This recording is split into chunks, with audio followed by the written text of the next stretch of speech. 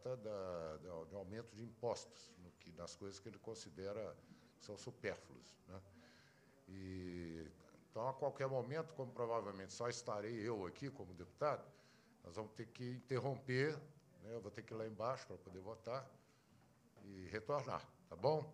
Então, nós vamos tentar fazer uma, uma audiência aqui justa também, assim, é, é, que são protocolares, tá? A número regimental, declara aberta a 18ª reunião extraordinária da Comissão do Trabalho, da Previdência e da Assistência Social da primeira sessão legislativa ordinária da 20 legislatura. A presidência, nos termos do parágrafo 1 do artigo 132 do Regimento Interno, dispensa a necessidade de um plano de carreira, a devida recomposição salarial, salarial e a valorização dos servidores da empresa de pesquisa agropecuária de Minas Gerais, a IPAMIG, e a receber, discutir e votar proposições da comissão. Da comissão. A presidência informa o recebimento pro, propondo uma comissão para ouvir os ex-trabalhadores das da 123 milhas. Ofício da Secretaria de Estado de Planejamento e Gestão prestando informações relativas aos requerimentos números 2257, 2263, 2500 e 2504/2023, publicados no Diário do Legislativo em 31 de 8 de 2023. Passa-se a primeira fase da terceira parte da reunião, que compreende a audiência pública. A presidência convida a tomar assento à mesa os seguintes convidados. Senhor Leonardo Brumano Calil, diretor de Administração e Finanças da IPAMIG. Está aí?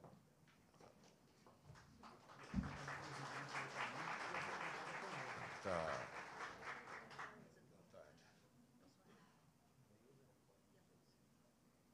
Cláudio Egon Facion, é pesquisador da empresa de pesquisa agropecuária de Minas Gerais. São João do Rei. Tá bom? Tá bom, né?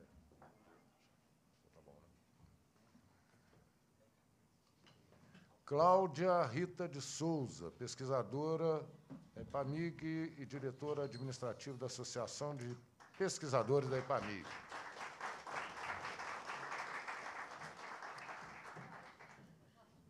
João Batista Ribeiro da Silva, pesquisador também da EPAMIG Nova Porteirinha.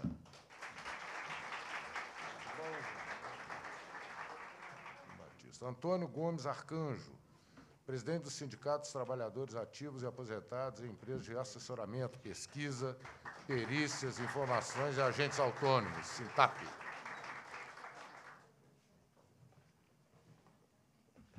Boa tarde. Emerson Dias Gonçalves, presidente da Associação de Pesquisadores da EPAMIG.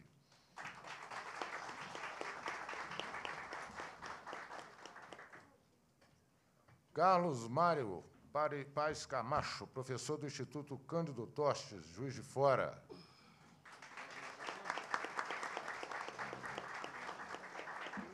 Marley Lamomier Machado, vice-presidente da Associação Central dos Funcionários da EPAMIG.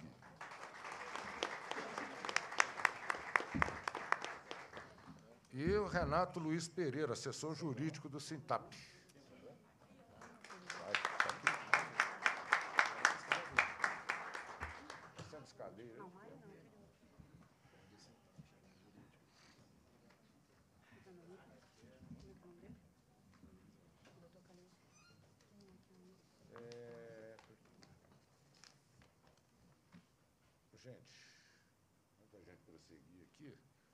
Normalmente, normalmente é, a gente passa a palavra por até 10 minutos. Alguém precisa de mais tempo? É isso? Tem um que vai apresentar aqui o. O Emerson. O Emerson vai apresentar o. Vai precisar de mais de 10? Eu acho que uns 15. 15? Tá. Então, a gente garantir, né?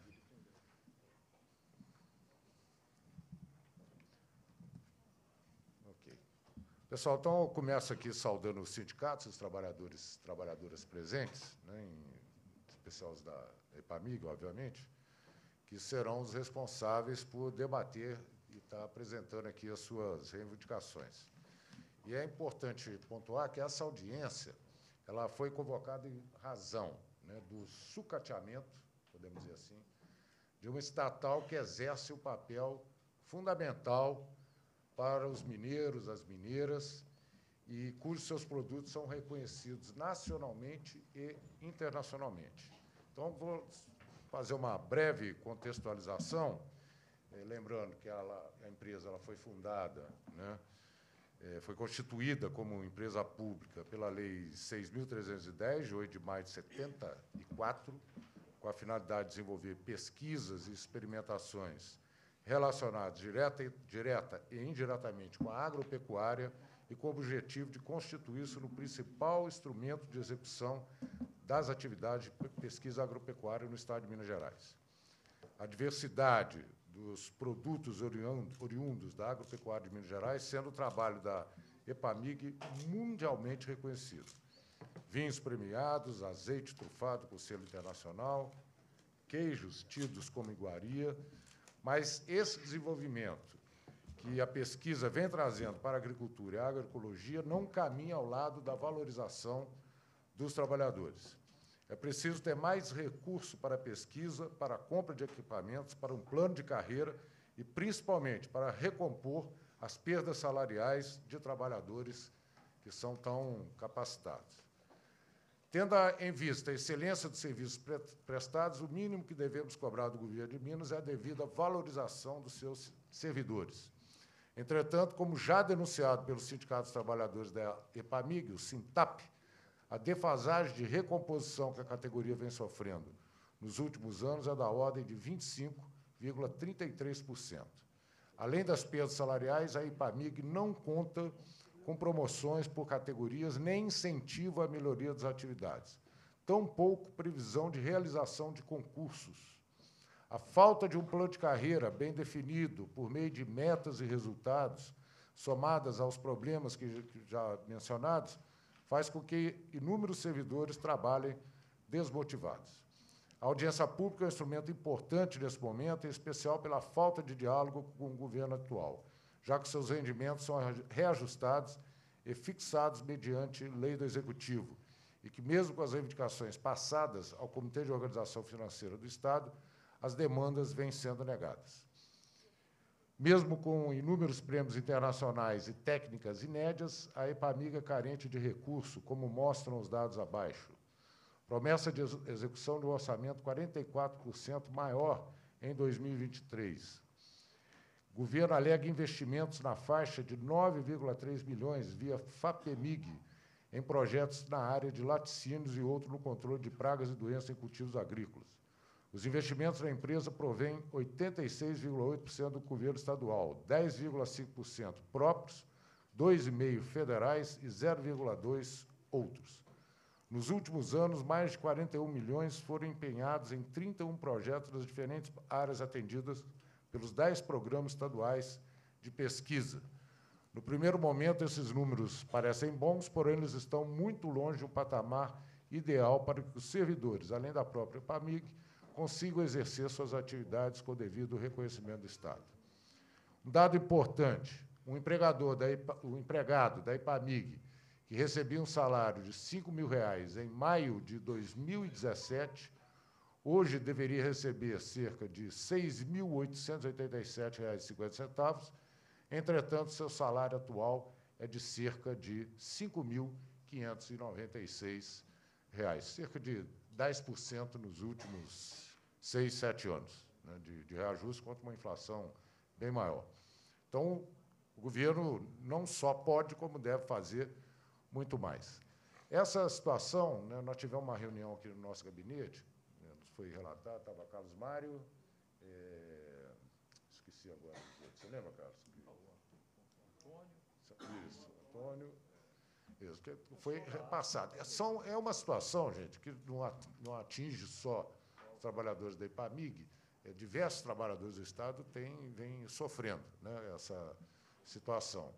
No entanto, o governo negociou recentemente com os trabalhadores da educação, negociou com trabalhadores das forças de segurança, né? não cumpriu, diga-se de passagem, aliás, é a primeira vez na minha vida, de tantos anos de parlamento e de movimento sindical, que eu vejo um executivo, um governador, vetar a própria lei que ele enviou para a Assembleia Legislativa, que foi o reajuste dos servidores da Força de Segurança, que ele pagou a primeira, ele ia pagar em três parcelas, né? ele pagou a primeira e vetou as outras duas. É inédito isso, é inédito.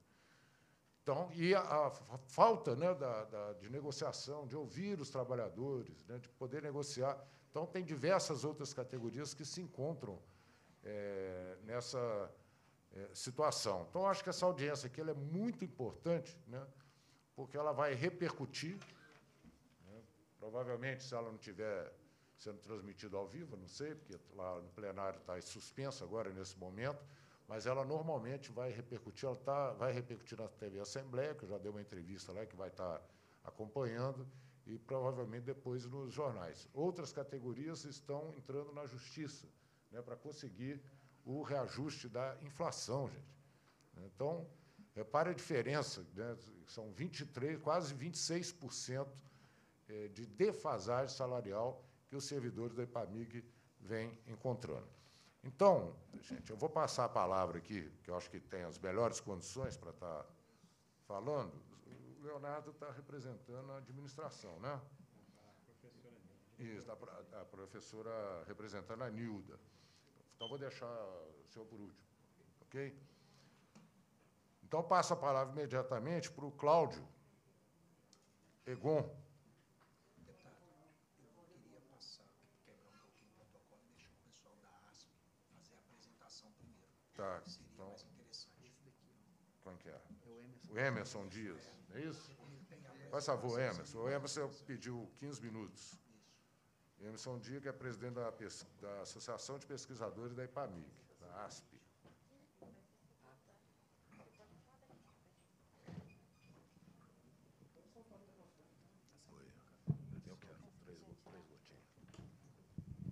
Então, antes de, de apresentar, a gente vai passar um vídeo da, da instituição para depois mostrar o- o- os mostrar os dados que a gente trouxe para Obrigado.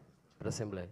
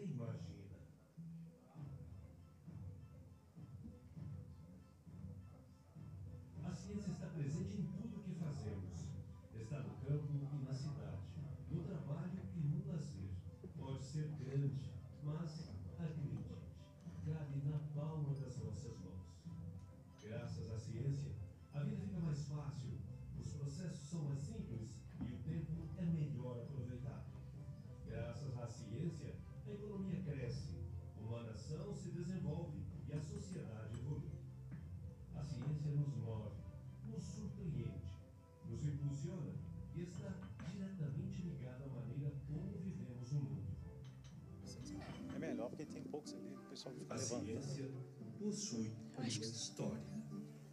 Em Minas Gerais, há 45 anos, a empresa de pesquisa agropecuária, a EPAMIG, trabalha para trazer a ciência para mais perto da vida dos mineiros. 45 anos, uma história que não começou ontem. Para falar da EPAMIG,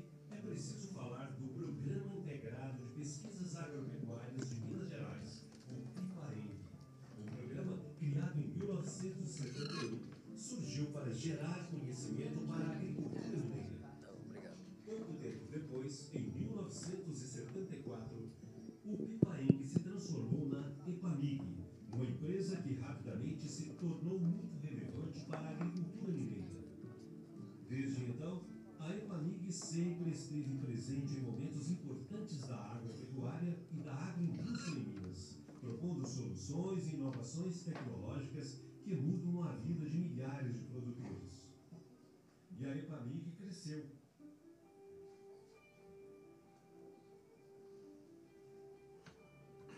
Hoje, os programas de pesquisa estão mais ajustados às demandas do mercado, em áreas importantes para o desenvolvimento da economia do Estado.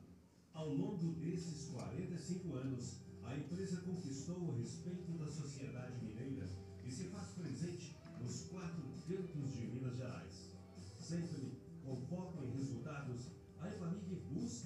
inovação e está atenta às novas tecnologias. Com uma equipe qualificada, pesquisas inovadoras e parcerias consolidadas, a empresa dá passos para tornar a agropecuária do Estado cada vez mais sustentável e competitiva. Ao olhar para trás, contemplamos descobertas, acertos e avanços. Debatemos, planejamos, formamos alunos, capacitamos técnicos e produtores, criamos métodos. Temos orgulho de ter concretizado metas e participado efetivamente do progresso de Minas Gerais. E seguimos movidos por desafios. Por isso, olhamos para o futuro e visualizamos um cenário promissor, com um time de colaboradores e parceiros unidos com o mesmo propósito, estamos em uma nova era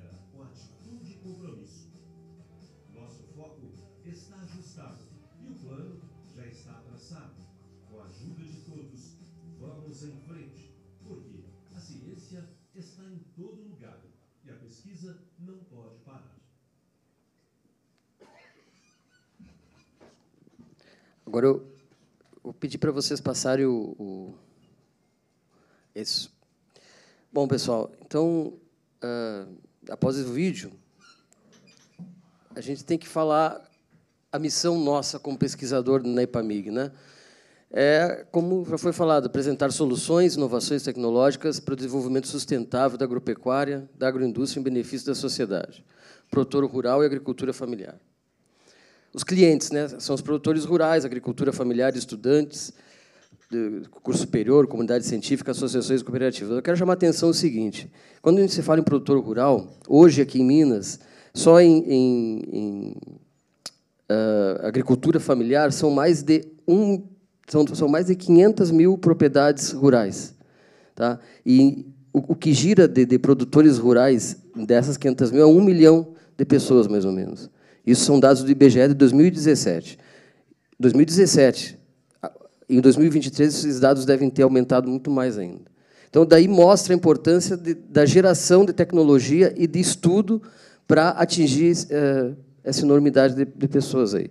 E, e aí, aí, a função importante da EPAMIG nessa geração de tecnologia e, e nessa promoção de, de, de, investigação científica. Próximo.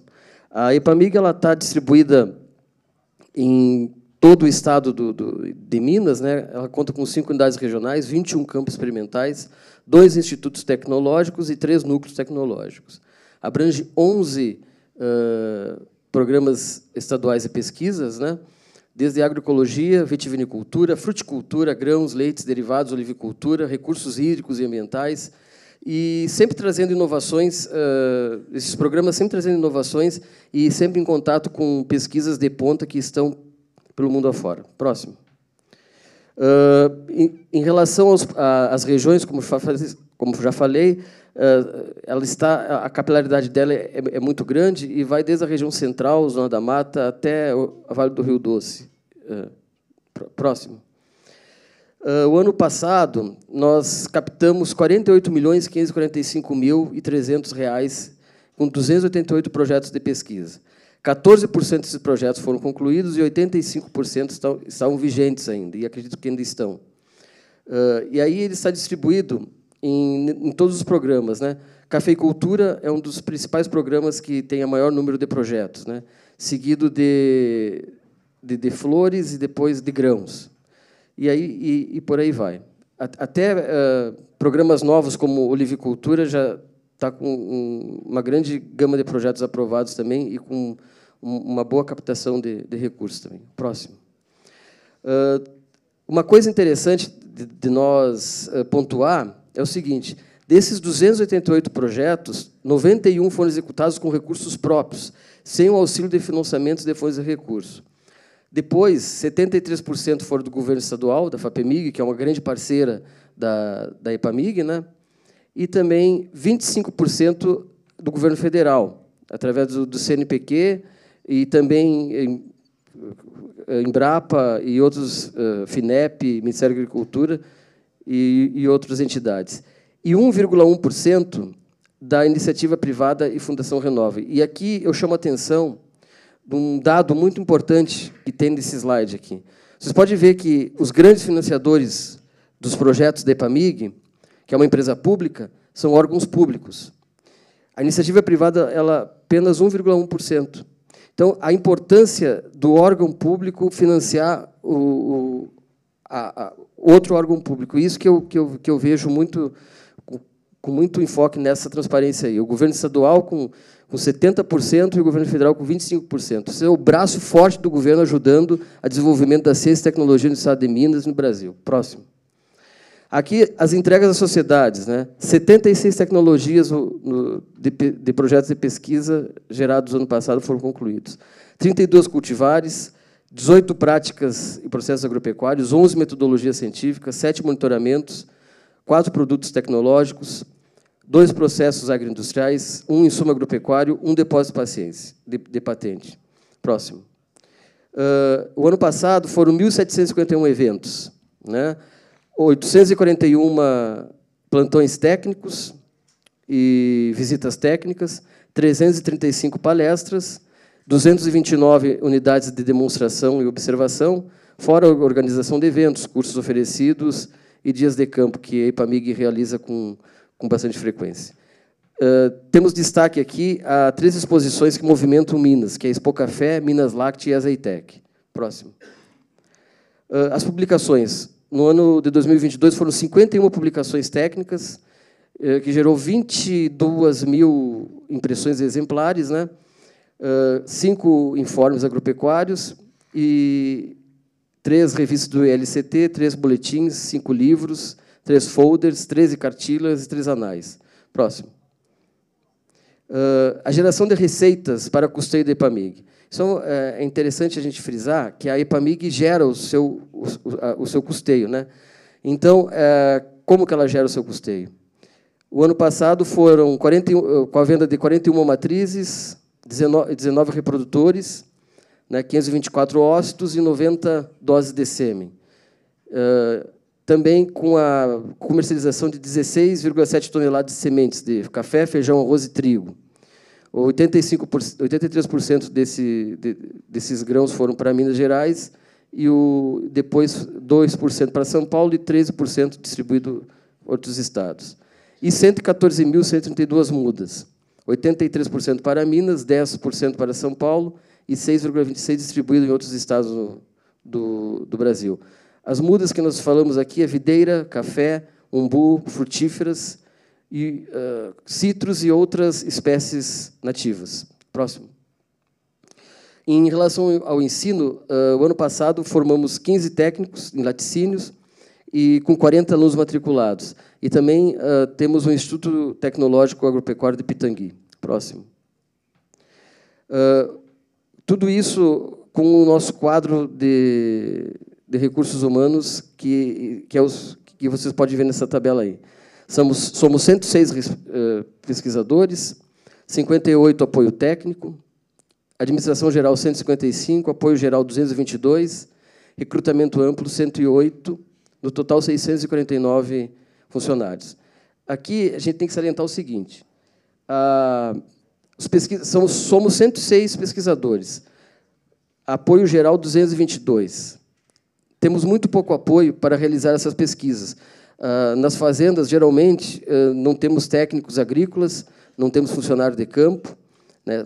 Tá é, é, as fazendas e as unidades estão carentes desse, desses uh, funcionários. Muitas vezes o pesquisador tem que gerar o projeto, escrever o pro... primeiro, pensar o problema, escrever o projeto, enviar o projeto, aprovar o projeto, executar o projeto, fazer o trabalho científico, dar a palestra e ainda atender o público que, que vai na fazenda. Porque não tem uh, quem faça isso para apoiar o pesquisador, pelo menos na grande maioria do, das fazendas.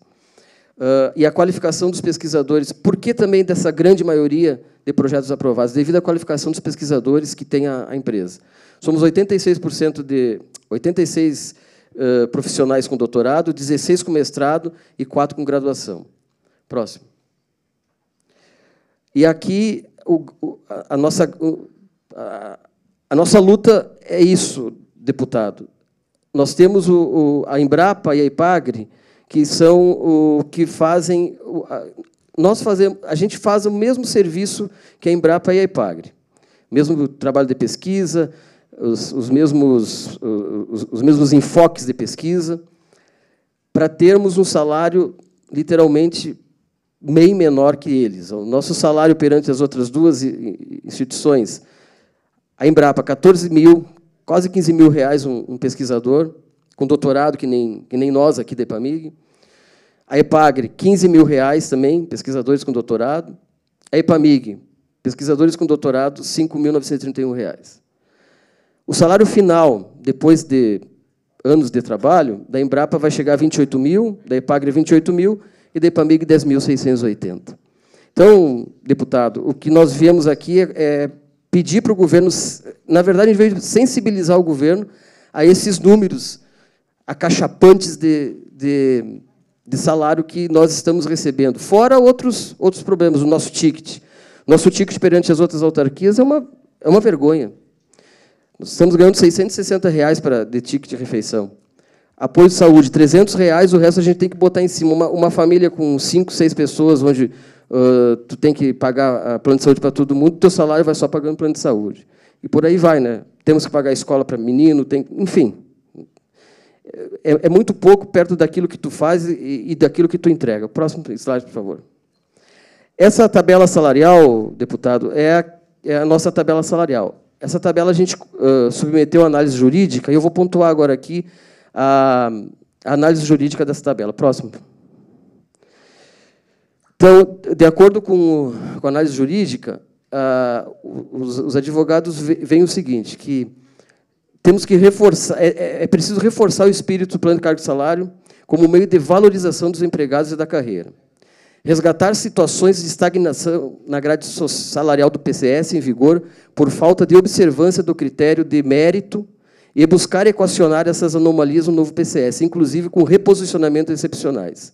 Desvincular as progressões das exigências orçamentárias e financeiras, reforçar que o direito do empregado previsto contratualmente é preponderante nesses casos, exceção do artigo 22, parágrafo único da Lei Complementar número 101/2000 reduzir a quantidade de padrões salariais no novo PCS, para no máximo 15 padrões, observando-se entre cada padrão, no mínimo, o mesmo percentual de reajuste do PCS em vigor.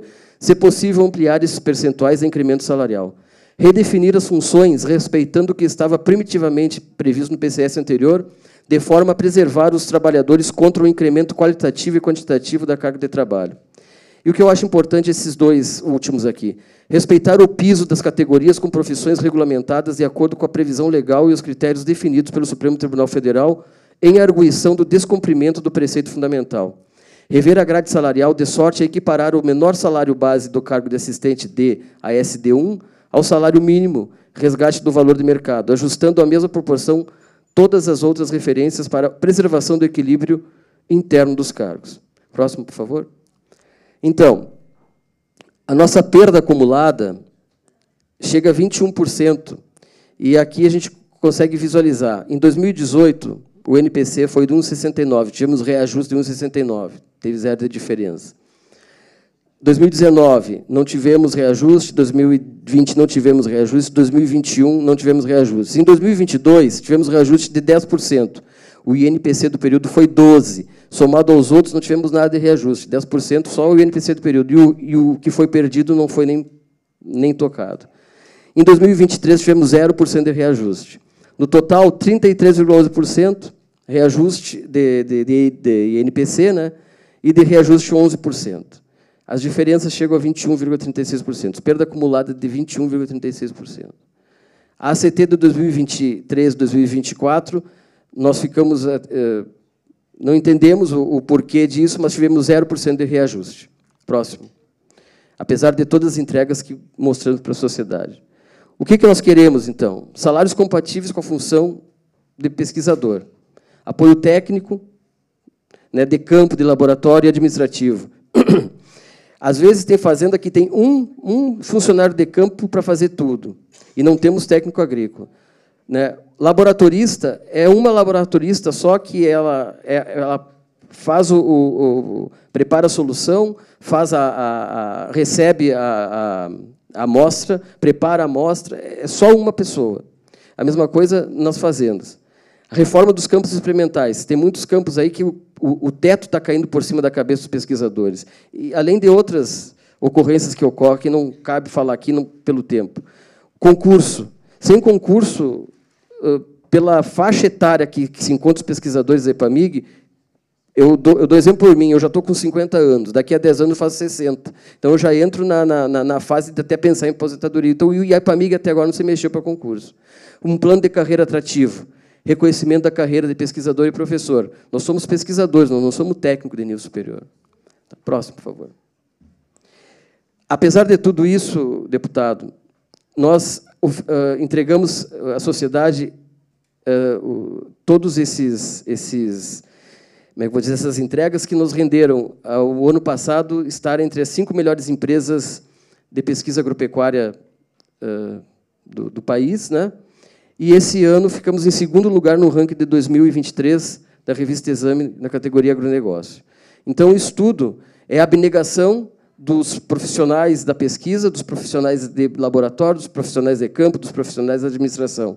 Sem, esse, sem, sem a, a, a valorização desse pessoal, fica difícil de manter a, como é que vou dizer, o entusiasmo na empresa. Né? Próximo.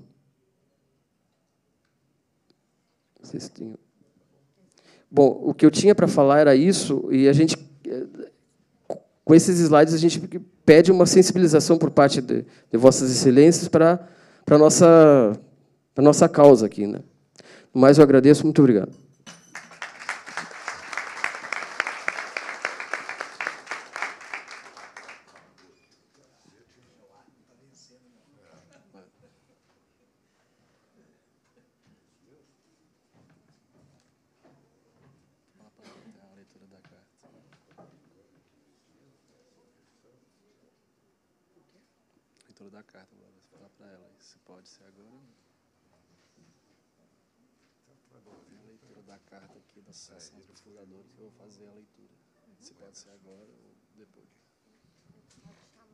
Obrigado, Emerson.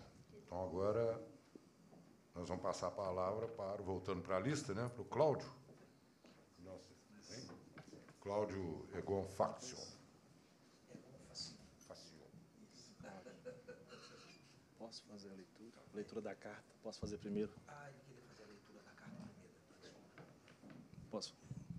Pessoal, boa tarde a todos, colegas da EPAMI, colegas do sindicato presentes. Saúdo né, aos membros da mesa em nome do deputado Betão, que tão bem abraçou a nossa causa da EPAMIG. Né?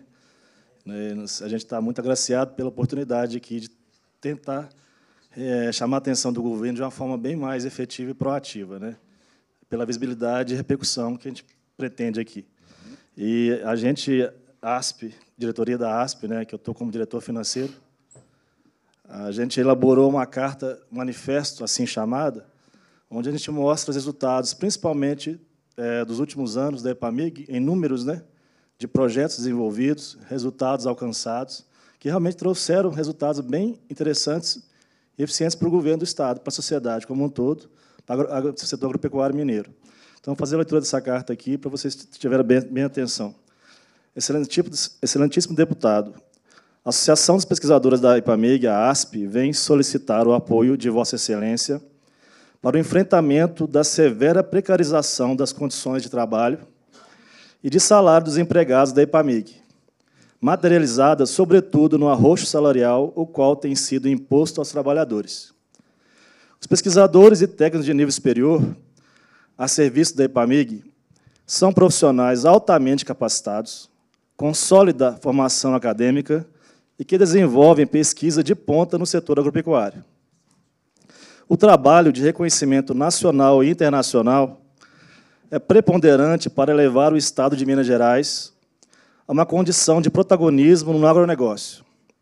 Em 2022, alcançou resultado de mais de 205 bilhões de reais, sendo responsável por uma participação de 22,2% no produto interno bruto do Estado.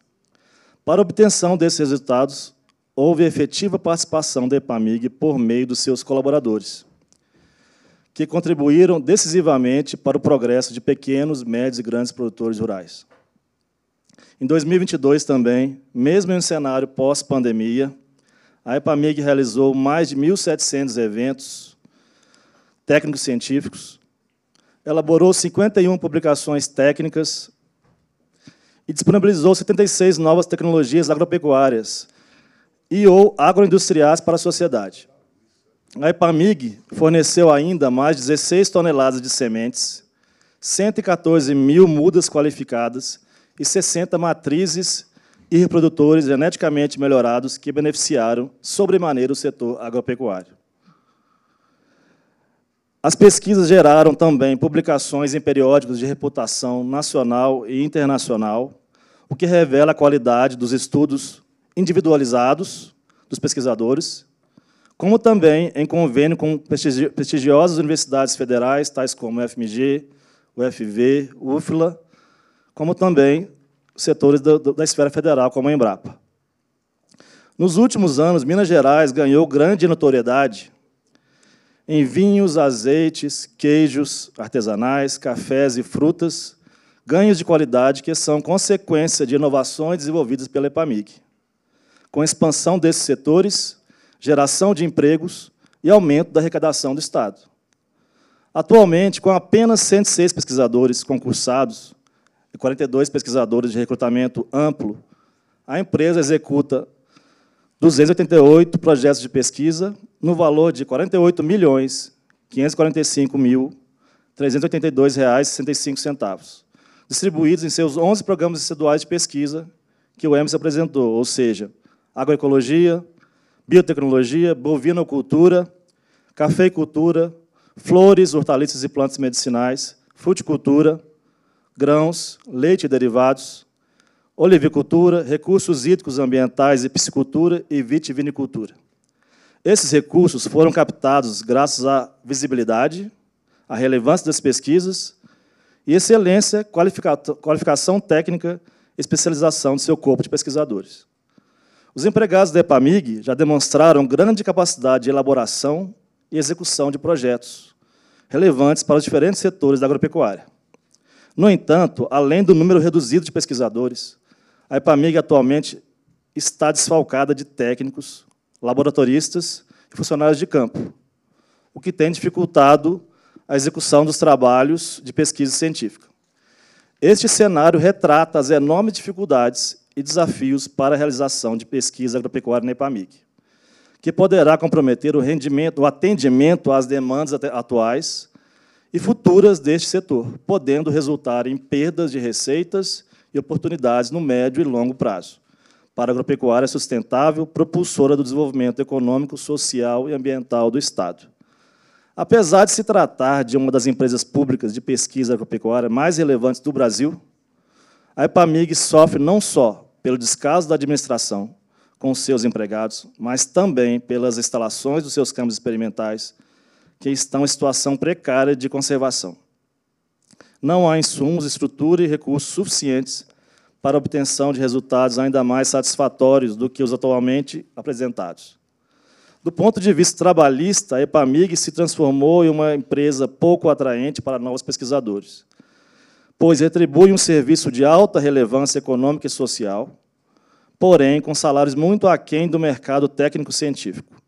Seu plano de carreira que deveria ser um incentivo à permanência na empresa, é um regramento obsoleto que não premia a produtividade, o que faz com que a ascensão profissional seja lenta e se dê exclusivamente por tempo de serviço.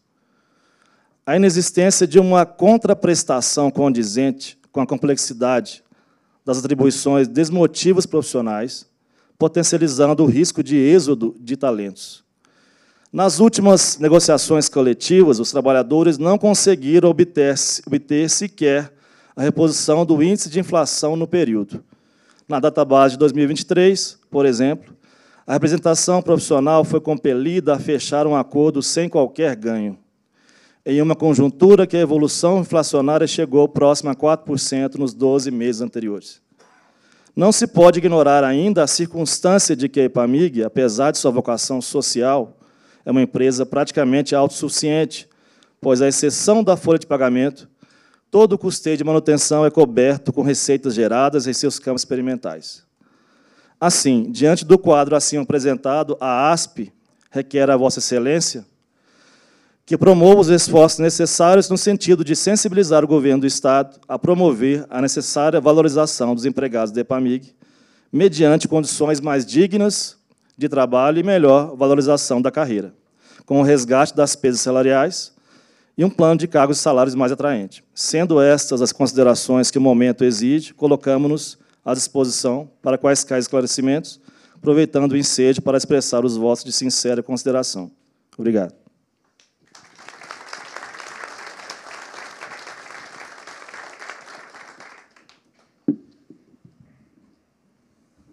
João. Agora sim, passar a palavra aqui para o Cláudio, seguindo a.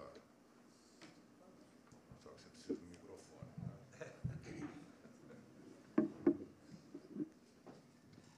Boa tarde a todos. É, agradeço aí ao deputado Betão a oportunidade que tem dado aí para a amiga aí para apresentar os seus trabalhos e, claro, também discutir a sua situação. Então, em nome dos funcionários aí do sindicato, eu agradeço ao deputado aí por essa oportunidade. É, na minha fala aqui, eu queria contar um pouquinho da história, pegando algumas frases que você disse aí, senhor deputado. É, eu tenho 25 anos de EPAMI, completei agora 1 de julho de 2023 e 25. Tem colegas aqui que têm mais tempo do que eu de EPAMI. Considerando esses 25 anos, eu já passei por diversos tipos de governo, desde Eduardo Azeredo, saudoso Itamar Franco, Aécio Neves, Anastasia, entre outros, até no governo atual. Então, passei por esses longos períodos aí de governo, de diferentes ideologias e convicções. E todos esses períodos a gente sempre teve as negociações, às vezes um pouco dura com um ou com o outro. Mas confesso que no momento atual, é, da forma que a gente tem sido até tratado pelo governo atual, tem sido desumano. Pode ser uma palavra pesada, mas é desumano. A partir do momento que você senta numa mesa de negociação, onde você é coagido a perder um ticket de alimentação, que para um funcionário de campo, como senhor viu a tabela salarial, representa praticamente 50% do seu salário de complementação. E você é ameaçado de perder um direito para você assinar um acordo sem ganho nenhum. Então eu, eu determino isso como até desumano. Então, em todos esses longos anos meus de EPAMIG, de todos os governos que eu passei, eu nunca vi uma situação como essa. Usando a sua frase, tantos anos de parlamento, só ouvi uma situação com a segurança pública. É o mesmo caso da EPAMIG. Eu, tantos anos de EPAMIG, uma situação, uma negociação como essa. Na realidade, nesse governo, a gente não tem tido, a gente não tem conseguido, inclusive, sentar para negociar. A gente tem sido pressionado a assinar um acordo de qualquer maneira. Não é qualquer espécie de negociação. É isso que a gente tem vivido nesses quatro anos. E por incrível que pareça, resultado nós estamos dando. O senhor acabou de ver aí a apresentação. Se o senhor pegar os relatórios da EPAMIG, nosso diretor está aí, SGI e tudo, nós temos cumprido metas. Além, inclusive, das metas. temos atingido, inclusive, além das metas. Temos recebido os prêmios. Ou seja, nós estamos cumprindo com a nossa obrigação. E a reciprocidade não é verdadeira. O Estado não tem nos dado o devido respeito. Infelizmente. Ele não nos tem tratado como profissionais dedicados.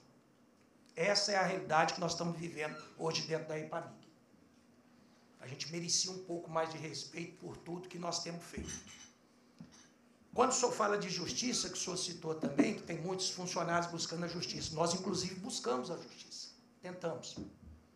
Em todos esses outros governos que eu citei, quando a gente ganhava na segunda instância, selava-se o assunto. Pela primeira vez, nós ganhamos na primeira, segunda instância, o Estado levou à última instância o nosso dissídio coletivo. Foi aonde nós perdemos, porque um desembargador resolveu aceitar a tal da lei de responsabilidade fiscal. Eu fui me informar um pouco mais, que a gente é pesquisador. A gente está ali trabalhando no dia a dia nosso, a gente não entende muito dessa parte de legislação, somente no que não afeta a gente. Em momento algum eu encontrei na lei de responsabilidade fiscal qualquer vedação à recomposição salarial. A lei de responsabilidade fiscal contempla aumento salarial. Em momento algum, a recomposição. E o que nós hoje estamos brigando é pelo menos por essa recomposição, que hoje, balizando esses quatro anos, está em torno de 21,36%. E nem isso o governo tem nos dado nesses quatro anos. E daí essa defasagem que tem sido demonstrada. Funcionário hoje da EPAMIG não ganha menos do que o salário mínimo, que é proibido, por lei. Porque na tabela salarial é menos do que o salário mínimo. Ele não ganha por lei, é que ele não pode receber menos do que o salário mínimo. Tá? Aí, a partir do momento que, além de você não ter recomposição, você é ameaçado perder alguns direitos, já de longos anos, isso para mim é desumano. Isso é desumano. Por isso que eu uso esse termo. Alguns podem achar pesado, mas não, é desumano. Isso é desumano. Tá? Quando chega num extremo desse, é demonstrar desprezo pela empresa e pelos seus funcionários. Nada além disso. E é por isso que nós estamos aqui hoje. É por isso que nós estamos recorrendo à Assembleia, aos deputados, para que olhem um pouco para a situação desses funcionários da EPAMIC. Que se a gente não tivesse trabalhando, se a gente não tivesse executando as nossas atividades, nós não estaríamos aqui. Mas nós estamos cumprindo com a nossa obrigação. Nós estamos respondendo ao governo. Nós estamos cumprindo as nossas metas e superando as nossas metas. Então nós merecemos um pouco mais de respeito. Não adianta o governo vir com essa situação da lei de responsabilidade fiscal como argumento, porque ela não veda, ela não veda a recomposição salarial. E muito pelo contrário, dentro da lei ela fala que há outras medidas que o governo deve adotar antes, antes de chegar a não dar aumento para o funcionário público. Como corte de cargos comissionados, corte de funcionários não estáveis, dentre uma, várias outras, que eu não trouxe todas aqui. Mas se for lá na lei de responsabilidade fiscal, isso está escrito lá. São medidas que o governo deve tomar, primeiro, antes de atingir os funcionários. E isso não é falado com a gente em transparência, isso não é sentado e conversado. O que mais chateia, o que mais tem deixado os funcionários na situação é que não tem tido qualquer tipo de negociação. Eu falo isso porque eu sento na mesa de negociação com a diretoria da empresa, representando o sindicato, pelo sindicato, representando os funcionários. Mas com o governo a gente não tem qualquer tipo de negociação. Então eu acho que esse argumento de lei de responsabilidade fiscal, ele não se justifica, ele não é argumento para o governo simplesmente nos coagir. Desculpa o termo, mas foi coação. Esse ano a negociação foi coação. O governo nos coagiu. Infelizmente. Infelizmente. Então, eu deixo aqui meu depoimento, com 25 anos de EPAMIC, por todos esses desenvolvimentos de trabalho aí eu passei. Felizmente, eu atuei em algumas regiões do estado de Minas pela EPAMIC, pude ter essa oportunidade, como no norte de Minas, na região central aqui em Sete Lagoas, hoje estou no sul de Minas, então eu conheço muito bem a empresa. Posso falar tranquilamente por ela e posso falar por esses funcionários que aí estão pelo trabalho e dedicação de todos eles. Eu sei e eu conheço. Eu vivi com eles. Eu sei o tanto quanto eles são dedicados. E não merecem desrespeito. Eles merecem ser tratados um pouco mais de respeito. Tá? Então, agradeço aí a oportunidade mais uma vez, deputado, e o que tiver a, nossa disposição aí para estar tá contribuindo aí nesses trabalhos, eu, eu me coloco à disposição. Obrigado a todos aí.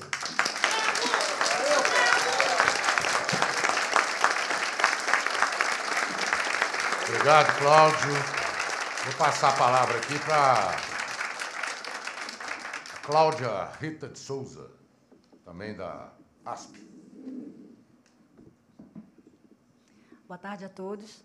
É, mais uma vez, a ASP gostaria de agradecer ao deputado Betão pela oportunidade de estar aqui para mostrar o importante trabalho que a EPAMIG faz né, e buscar apoio na nossa luta, né, por melhores condições de salário, melhores, melhores condições de trabalho.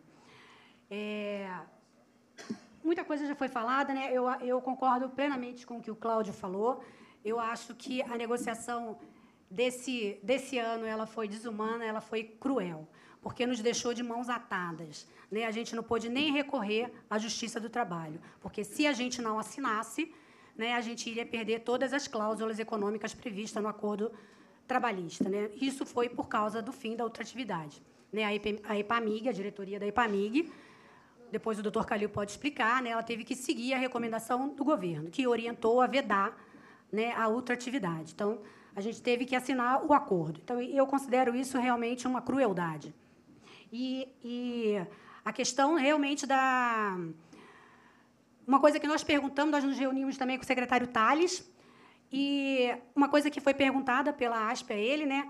porque ele, ele começou a falar do, da questão da não pode ter aumento por causa do regime de recuperação fiscal. E aí nós perguntamos, sim, mas o regime de recuperação fiscal ele proíbe a reposição inflacionária?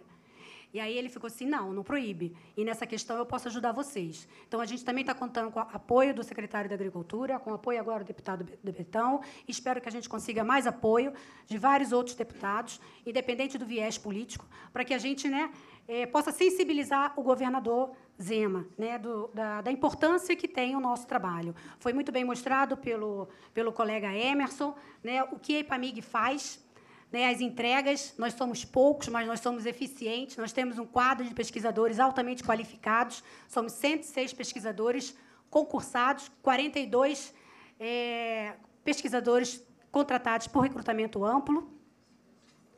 Se a situação está ruim para os pesquisadores, imagina para o RA. Né? Porque o RA, eu acho até também uma exploração, porque o RA não é nem reconhecido o adicional de titularidade. E eles desempenham tão bem quanto. É, eles desempenham tão, é, tão bem a função de pesquisador quanto os, os pesquisadores concursados. É, eu queria falar um pouco, como Emerson colocou a questão, é, o parecer jurídico do, é, dos advogados, da nossa assessoria jurídica, da ASP, em relação ao plano de cargos e salários. Nós temos um plano de cargos e salários vigente, que é o de 98, e temos agora uma nova proposta, né, elaborada pela diretoria executiva, pela atual diretoria, é, que seria para os novos concursados. Mas o que a gente acha que também não atende, não é um plano de cargo e salário atrativo, e nem para os novatos. Então, assim, a IPAMIG, é, eu costumo dizer né, que a IPAMIG ela é uma empresa trampolim que o pesquisador entra, ele enriquece o currículo e, na primeira oportunidade, ele migra, ele migra não, ele salta para outra instituição que paga melhor. E aí nós colocamos aqui é, a comparação do salário inicial e final da EPAMIG com a Embrapa, que é da União, que é do governo federal, e a EPAGRE, então, para não dizer, ok, o governo federal ele arrecada mais, a União arrecada mais, ela tem condições de pagar melhores salários. Mas nós colocamos ali uma outra OEPA, uma outra Organização Estadual de Pesquisa Agropecuária, que é a EPAGRE. E a EPAGRE, eu não sei se vocês observaram, ela está com salário superior ao da Embrapa. Então, nós desempenhamos a mesma função que eles desempenham, e nós ganhamos menos da metade do que é pago para eles. Então, assim, é, é desestimulante né, assim, a, questão, a questão salarial é, da EPAMIG.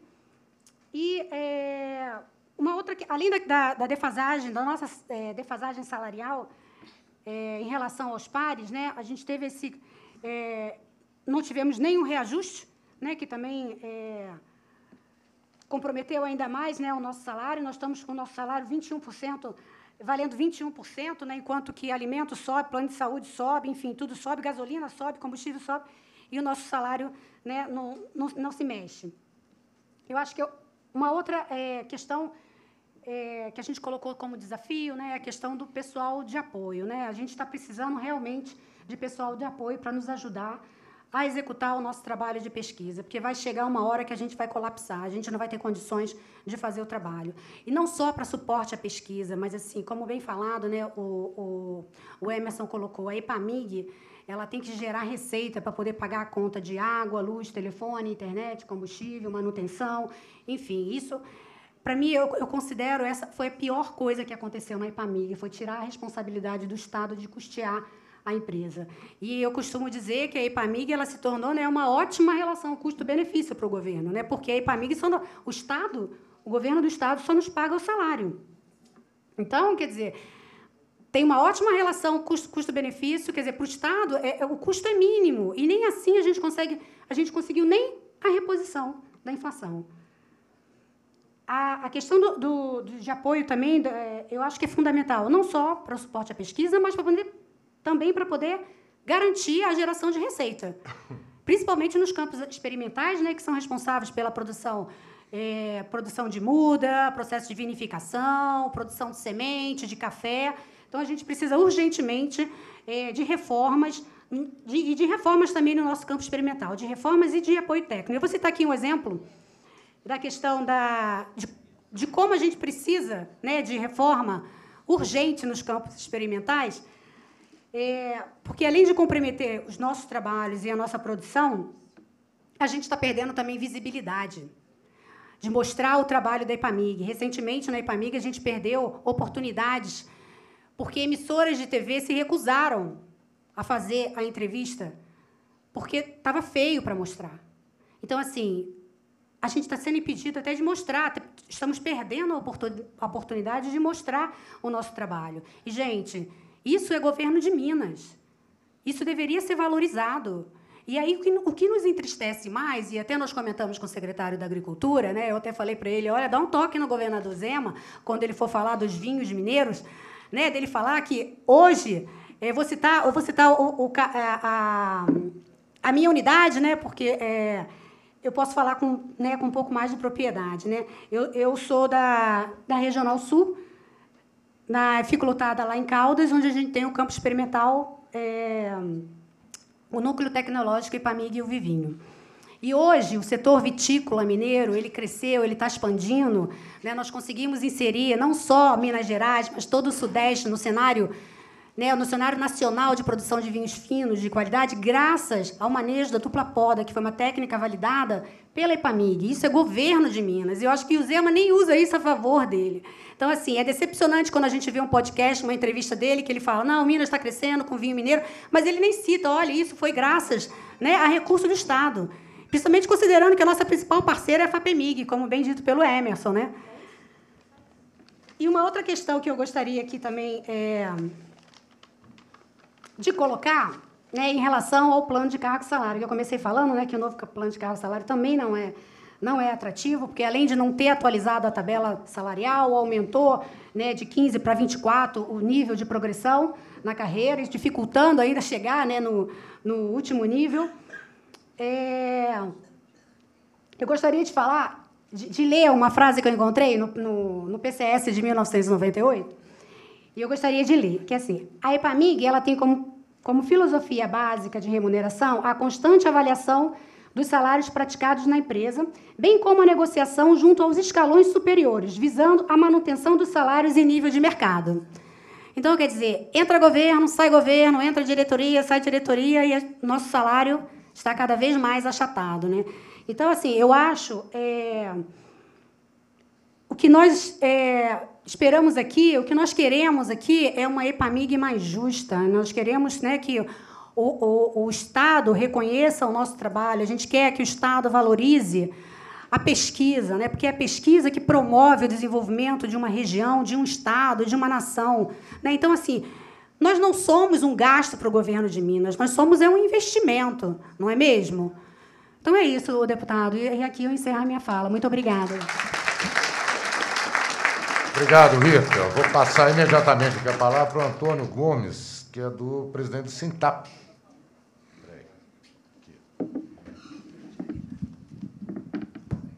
Não sei falar muito estranho, como você. É, boa tarde a todos. Hoje a gente, o sindicato hoje agradece muito a presença do pessoal que rodaram 800 quilômetros 500 quilômetros. Estou emocionado. Desculpe.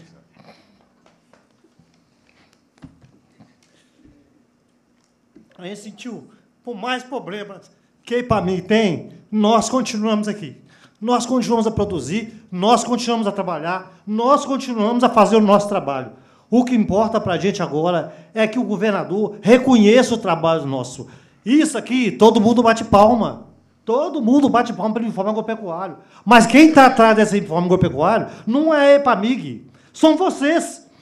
É o trabalhador de campo que vai lá e prepara o terreno, que vai lá, aplica o defensivo agrícola, que vai lá e faz toda a, a, a, a medição do terreno, é o pesquisador que faz a análise da terra, que faz a análise da semente e que produz esse, esse trabalho. Lá fora, ninguém sabe quem é que trabalhou nesse, nesse informe. Ninguém sabe quem trabalhou nesse informe. Ninguém valoriza o trabalho do campo, o trabalho do vaqueiro. Desculpa, estou emocionado. Então, eu queria que as políticas desse, Minas Gerais reconhecessem o nosso trabalho. A gente não mede esforços, o vaqueiro não mede esforço, é debaixo de chuva, é debaixo, é de tempestade, é debaixo de sol. Aonde existe a necessidade, no plantio, na, na, na, na preparo da terra, em tudo, o, o trabalhador da EPAMIG está lá. Quando eu entrei na EPAMIG, era 2.500 empregados. Agora, cada trabalhador tem que fazer o trabalho de cinco. Porque hoje nós somos um quinto do que nós éramos antes. Nós éramos, nós éramos 2.500 trabalhadores, agora nós somos 500 e poucos trabalhadores. Então, cada trabalhador tem que fazer o trabalho de cinco. E aonde está o pessoal que não enxerga a gente? Então, gente, desculpa aí.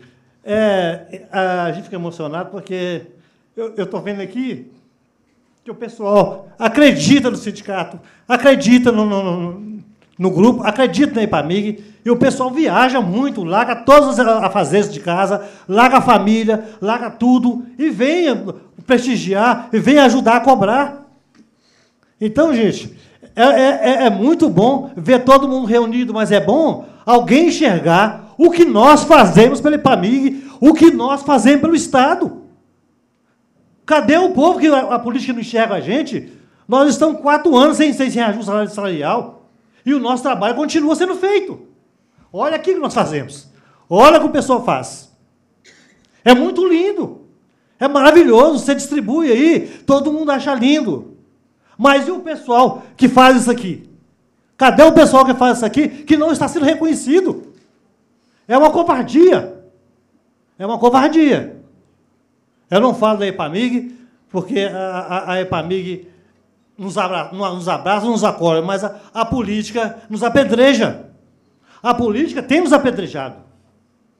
Ela não está enxergando o que nós estamos fazendo.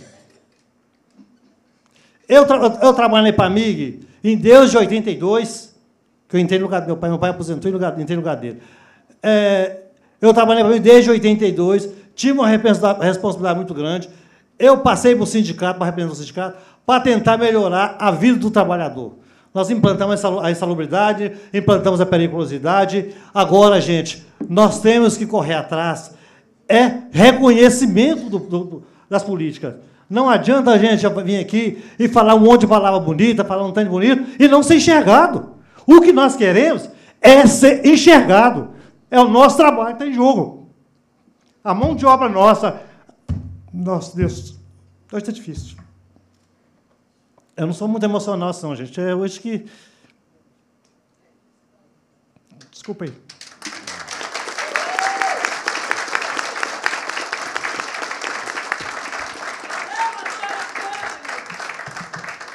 A emoção da gente para a gente ver todo mundo vindo do interior, largando família, largando dos a fazer, para estar aqui prestigiando a gente. É isso que nós precisamos. É isso que o sindicato precisa. Essa união, essa garra e mostrar para a política que nós somos unidos, que nós fazemos, que nós produzimos. É isso que nós precisamos. E vamos mostrar, gente, continuar com esse trabalho de braço dado aos empregados da IPAMIG. Nós precisamos continuar a caminhar e mostrar que nós produzimos, nós fazemos, que nós precisamos ser enxergados. Nós precisamos ser enxergados. Não adianta a gente fazer esses trabalhos maravilhosos que nós fizemos aqui. É muito trabalho, é muito cansativo. O pesquisador, o trabalhador rural, fazer um trabalho maravilhoso desse, mas ninguém enxergar. O governo enxerga. vai para as reuniões e mostra o trabalho que nós fazemos. Mas ninguém quer saber o quanto que nós urramos para fazer um trabalho desse. Na hora de pagar o trabalho que nós fazemos, paga pelas metades, a nem às vezes nem pela metade. Porque se um trabalhador do campo perder, o ticket refeição é 50% do salário dele. Eu não vou falar muito, porque o Cláudio falou bastante, né? Então, ele, ele, ele copiou meu, meu, meu discurso. então, gente, não adianta falar muito, nós, o que a gente tem que fazer aqui é mostrar o que nós fazemos. É só isso. O povo enxergar nós, enxergar a gente. Porque a gente não tem, não tem tempo, não, não, não tem horário, não tem nada, a gente, a gente não importa, com, às vezes tem que largar a família para trás para mostrar o que nós podemos fazer, o que nós sabemos fazer. E ninguém está enxergando nós. Ninguém está enxergando. Cadê esse povo? Cadê essa política? Que não enxerga a gente. Aonde está essa política que não enxerga a gente? Que não enxerga o trabalho que nós estamos fazendo. É isso que nós estamos cobrando. Nós estamos com um quinto da capacidade de, de, de mão de obra da EPAMIG. Cada um trabalha para cinco. Mas cadê o salário? E cada um trabalha para cinco e recebe um quinto de cada um deveria receber. É isto. Quando eu entrei na EPAMIG, eu ganhava 10 salários mínimos, agora eu ganho 2. Você vê o quanto que nós reduzimos a nossa mão de obra. O, o, o, a gente pede o, poder de compra, pede o poder de, de, de, de, cuidar da família, pede o poder, o poder de tudo. Tanto que eu, eu, eu era de segurança do, da, da IPAMIG, fui para o sindicato porque eu estava vendo a quantidade de, de atropelos que acontecia. É o pessoal que ia para o campo aplicar veneno, isso eu vi, eu posso falar, porque eu estava presente, eu fui testemunha. O pessoal ia para o campo aplicar veneno, de short, de, de, de chinelo de dedo, com, com, com, as bombas furadas. Então, assim, a briga nossa era essa. Era essa. Ainda tem alguns requisitos para trás, mas a saúde nossa estava minando. E o dinheiro nosso nunca aparecia. É isso que nós estamos cobrando. Alguém enxergar o nosso trabalho. Alguém precisa enxergar o nosso trabalho. Porque não adianta o, o, cara, o de câmbio ir lá, o operador de trator ir lá debaixo de chuva, debaixo do sol quente, aplicar veneno, aplicar um tanto de coisa que todo mundo sabe que, que é altamente prejudicial à saúde, que eu sou especialista em, em, em aplicação de veneno, que a Embrapa pagou mais de 50 cursos para mim. Então, eu, eu não posso nem correr do, correr do pau. Mas, assim, a gente sabe a, a, deficiência que nós temos, nós precisamos. Não só salário, mas que eles enxergam a nossa produtividade. Obrigado, gente. Desculpa aí, tá? Obrigado, Antônio. Passar a palavra aqui para o Carlos Mário, da, professor do Instituto Cando Toche, de Juiz de Fora. Hein? Ah, sim. Enquanto isso, nós vamos correr uma lista aqui para quem quiser falar, depois da, da fala dos convidados. Vai passar aqui para o Miguel.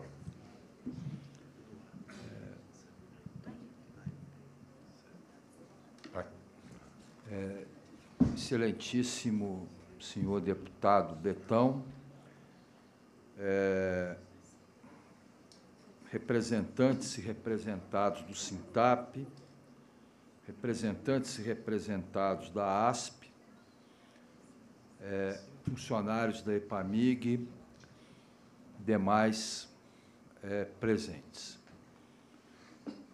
É, eu gostaria de, em primeiro lugar, parabenizar todos os colegas que me antecederam, porque cada um aqui mostrou um pouco do seu papel da sua história dentro da instituição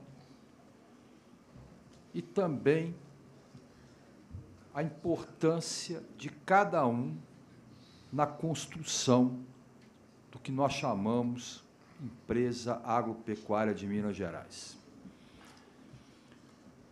Eu queria constatar aqui uma questão fica até difícil de você abordar os temas, porque os colegas foram muito felizes aqui nas suas abordagens. Primeiro, os colegas da ASP, que mostraram com muita contundência, com muita verdade, com muita emoção, o que, que significa a EPAMIG para o nosso Estado. É, depois nós tivemos aqui a presença, a fala do Cláudio, que se reportou a momentos de negociações que foram difíceis e que eu faço, inclusive, minhas palavras dele. Fomos realmente muitas vezes coagidos, sim. E eu queria é, também registrar aqui a minha emoção das, é, com relação às palavras do, do Toninho. Aqui vocês chamam ele de Antônio Arcanjo, lá nós chamamos ele de Toninho. Que realmente é o momento de extravasar e momento de dizer o que, que se passa hoje entre os funcionários. Eu queria dizer que os servidores que constroem a EPAMIG no dia a dia estão já há algum tempo vivendo de ilusões e de promessas. Eu trabalho na EPAMIG desde 1988. E o que eu percebo é exatamente isso. Nós estamos vivendo de promessas e de ilusões. É, muitos dos nossos pares já perderam a esperança e vivem atordoados, pois já não vislumbram mais sonhos. Isso é muito sério.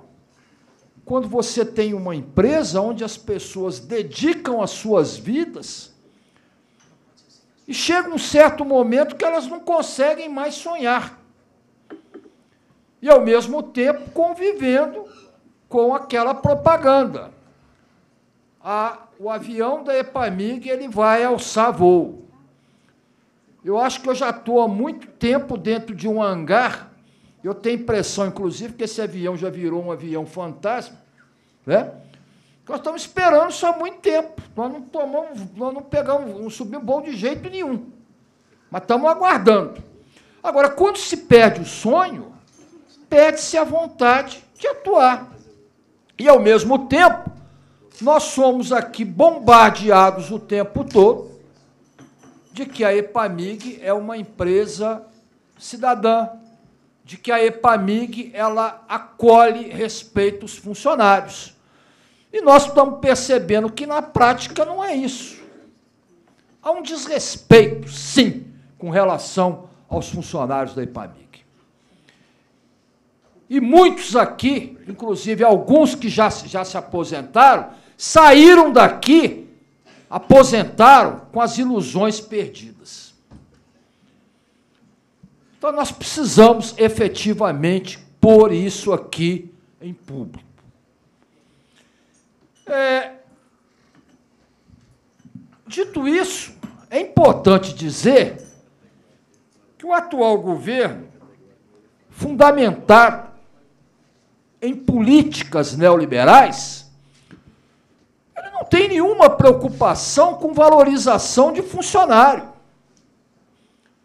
Veja bem, nós já estamos há algum tempo pedindo é, concurso público para funcionários. Não temos.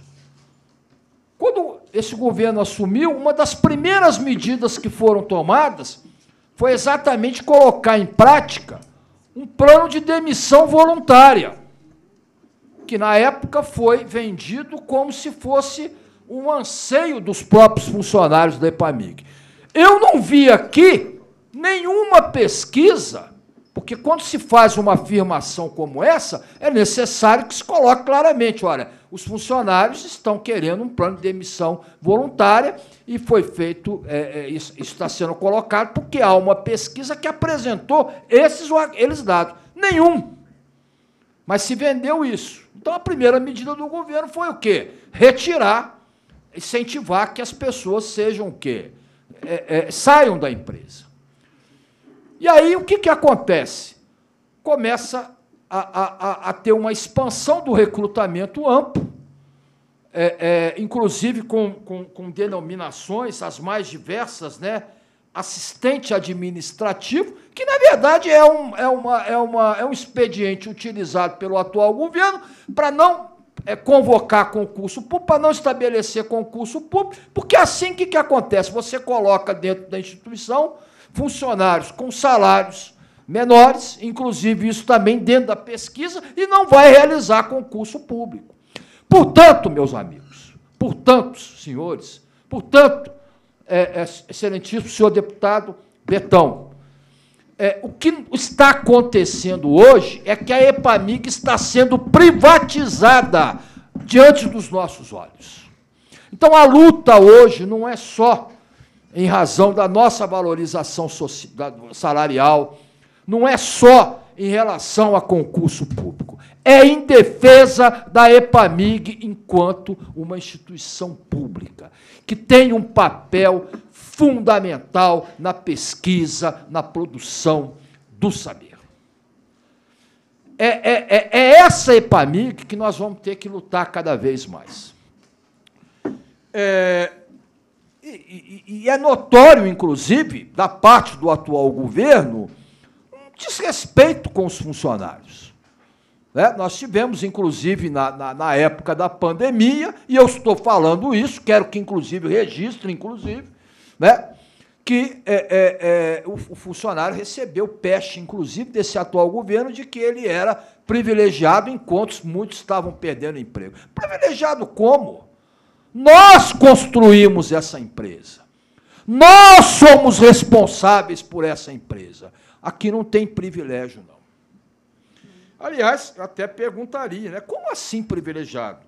Os funcionários tiveram um aumento de quase 400%? Tivemos aí, gente? Se tiver algum contra-cheque, que.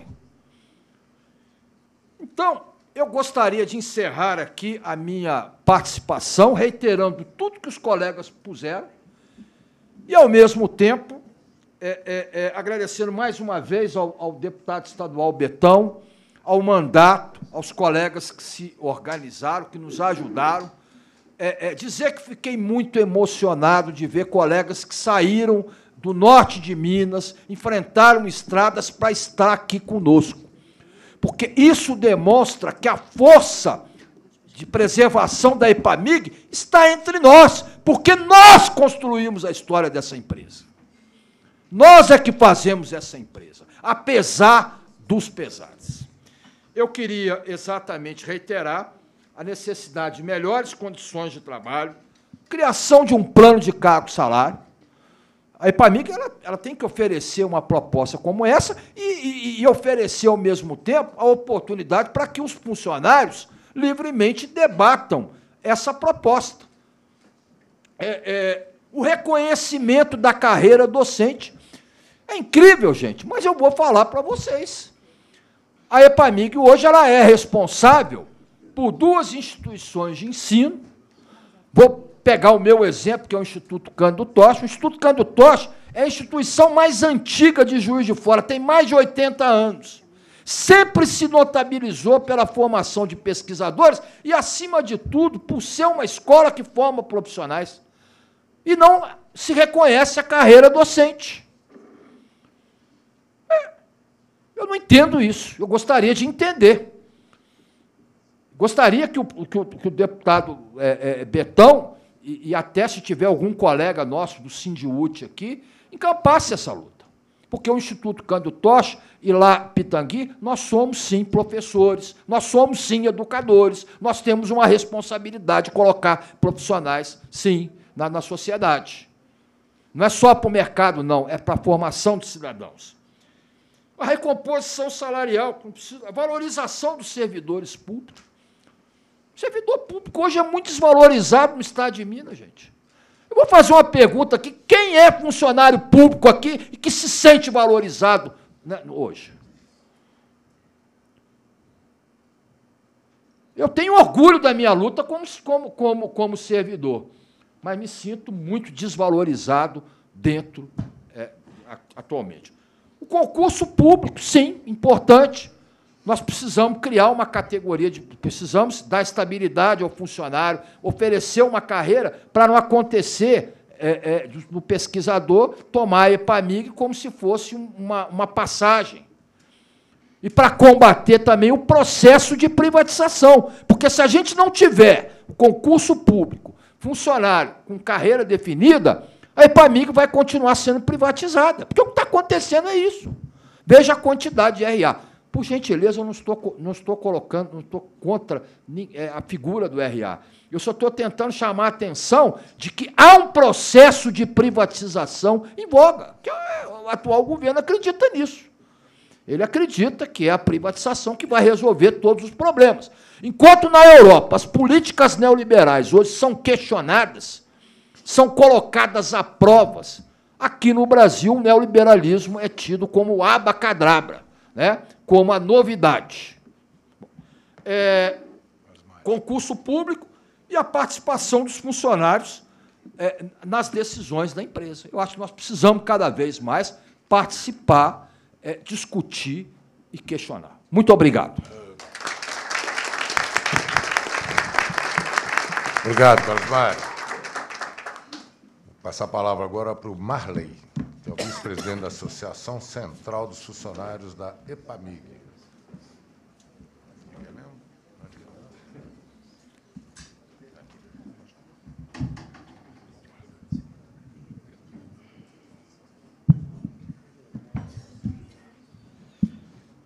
Prezado deputado, bom dia, boa tarde. É, colegas, né? Há muito tempo que eu não vejo muito deles aqui.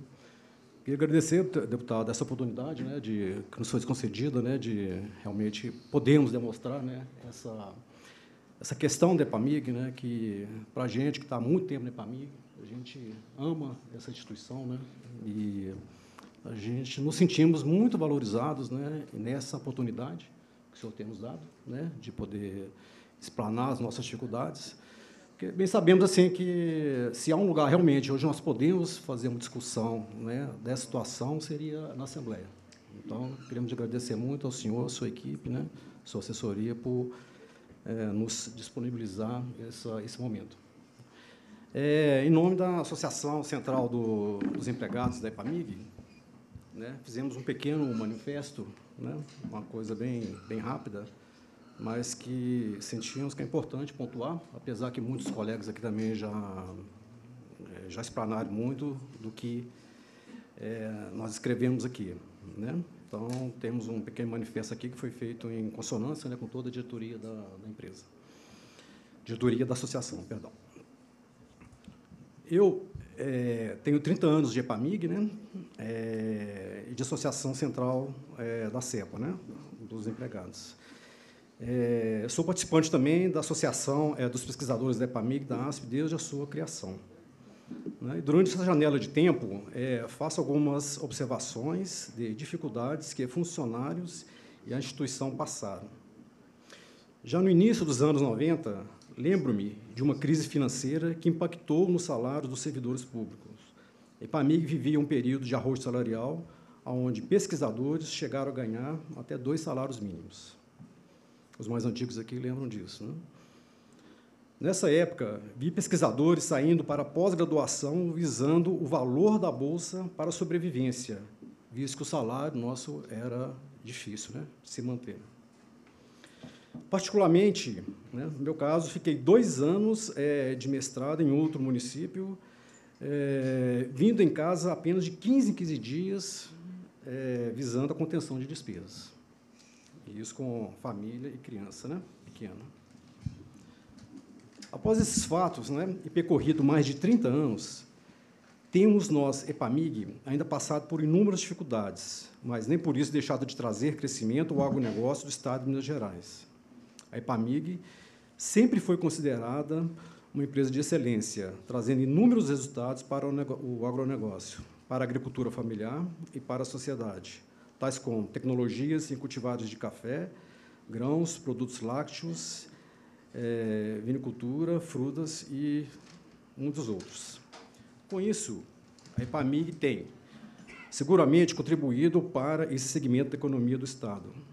Segundo a agência Minas Gerais, é, o PIB do agronegócio passou de 110 bilhões no triênio 2016-2018 para 117 bilhões em 2019, 147,8 bilhões em 2020 e 167 bilhões em 2021, chegando aos 205 bilhões em 2022. A agência Minas também informou nesse mês que a EPAMIG figura no ranking de melhores e maiores, elaborado pela revista Exame, conforme nosso colega da ASP já demonstrou. Né? Com isso, no segmento agronegócio, a empresa aparece como a segunda melhor do Estado e ocupa a 24ª posição nacional. Por outro lado, é sabido que a EPAMIG não possui fontes de recursos próprios suficientes para atender às suas necessidades. Ainda assim, temos nós, corpo técnico, corpo administrativo e diretoria executiva, é, feito crescer nossa instituição e cumprindo nossa missão perante a sociedade com as tecnologias geradas. Com isso, e finalizando, é, diante do exposto, a Associação Central é, dos Empregados da EPAMIGA CEPA solicita ao governo atenção especial à nossa instituição, pois temos muito mais a oferecer à sociedade e ao agro do Estado. Assim, pedimos apoio ao governo à recomposição salarial dos funcionários, ao aumento do corpo dos funcionários por concurso público em diferentes áreas e maior disponibilidade de recursos para desenvolvimento de pesquisa e estruturação física das nossas fazendas. Muito obrigado. Marlon, obrigado. Passar a palavra para o Renato Luiz, que é assessor jurídico do Sintap.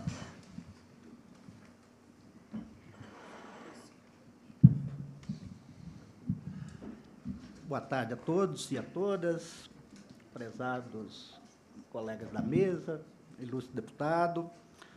É, talvez o que eu teria que falar aqui já foi bastante repetido, mas nós temos que passar a entender também a situação da EPAMIG no macro, né? que nós estamos inseridos num, num sistema, né? em um modo de produção, que todos sabem né? qual é, e que se caracteriza por esse tipo de, de resultado final, né? da exploração do homem pelo homem. É, então, de, dentro desse macro que todos nós temos que resistir a ele, mas no micro, que é a questão da, dos empregados da IPAMIG, eu já estou desde 97 na, como assessor jurídico do, do Sintap e tenho empregado, talvez até meio sem ser ouvido, a resistência dos empregados da IPAMIG. É? Nós não temos resistência. Nós sempre acreditamos que o outro vai resolver o nosso problema. Né?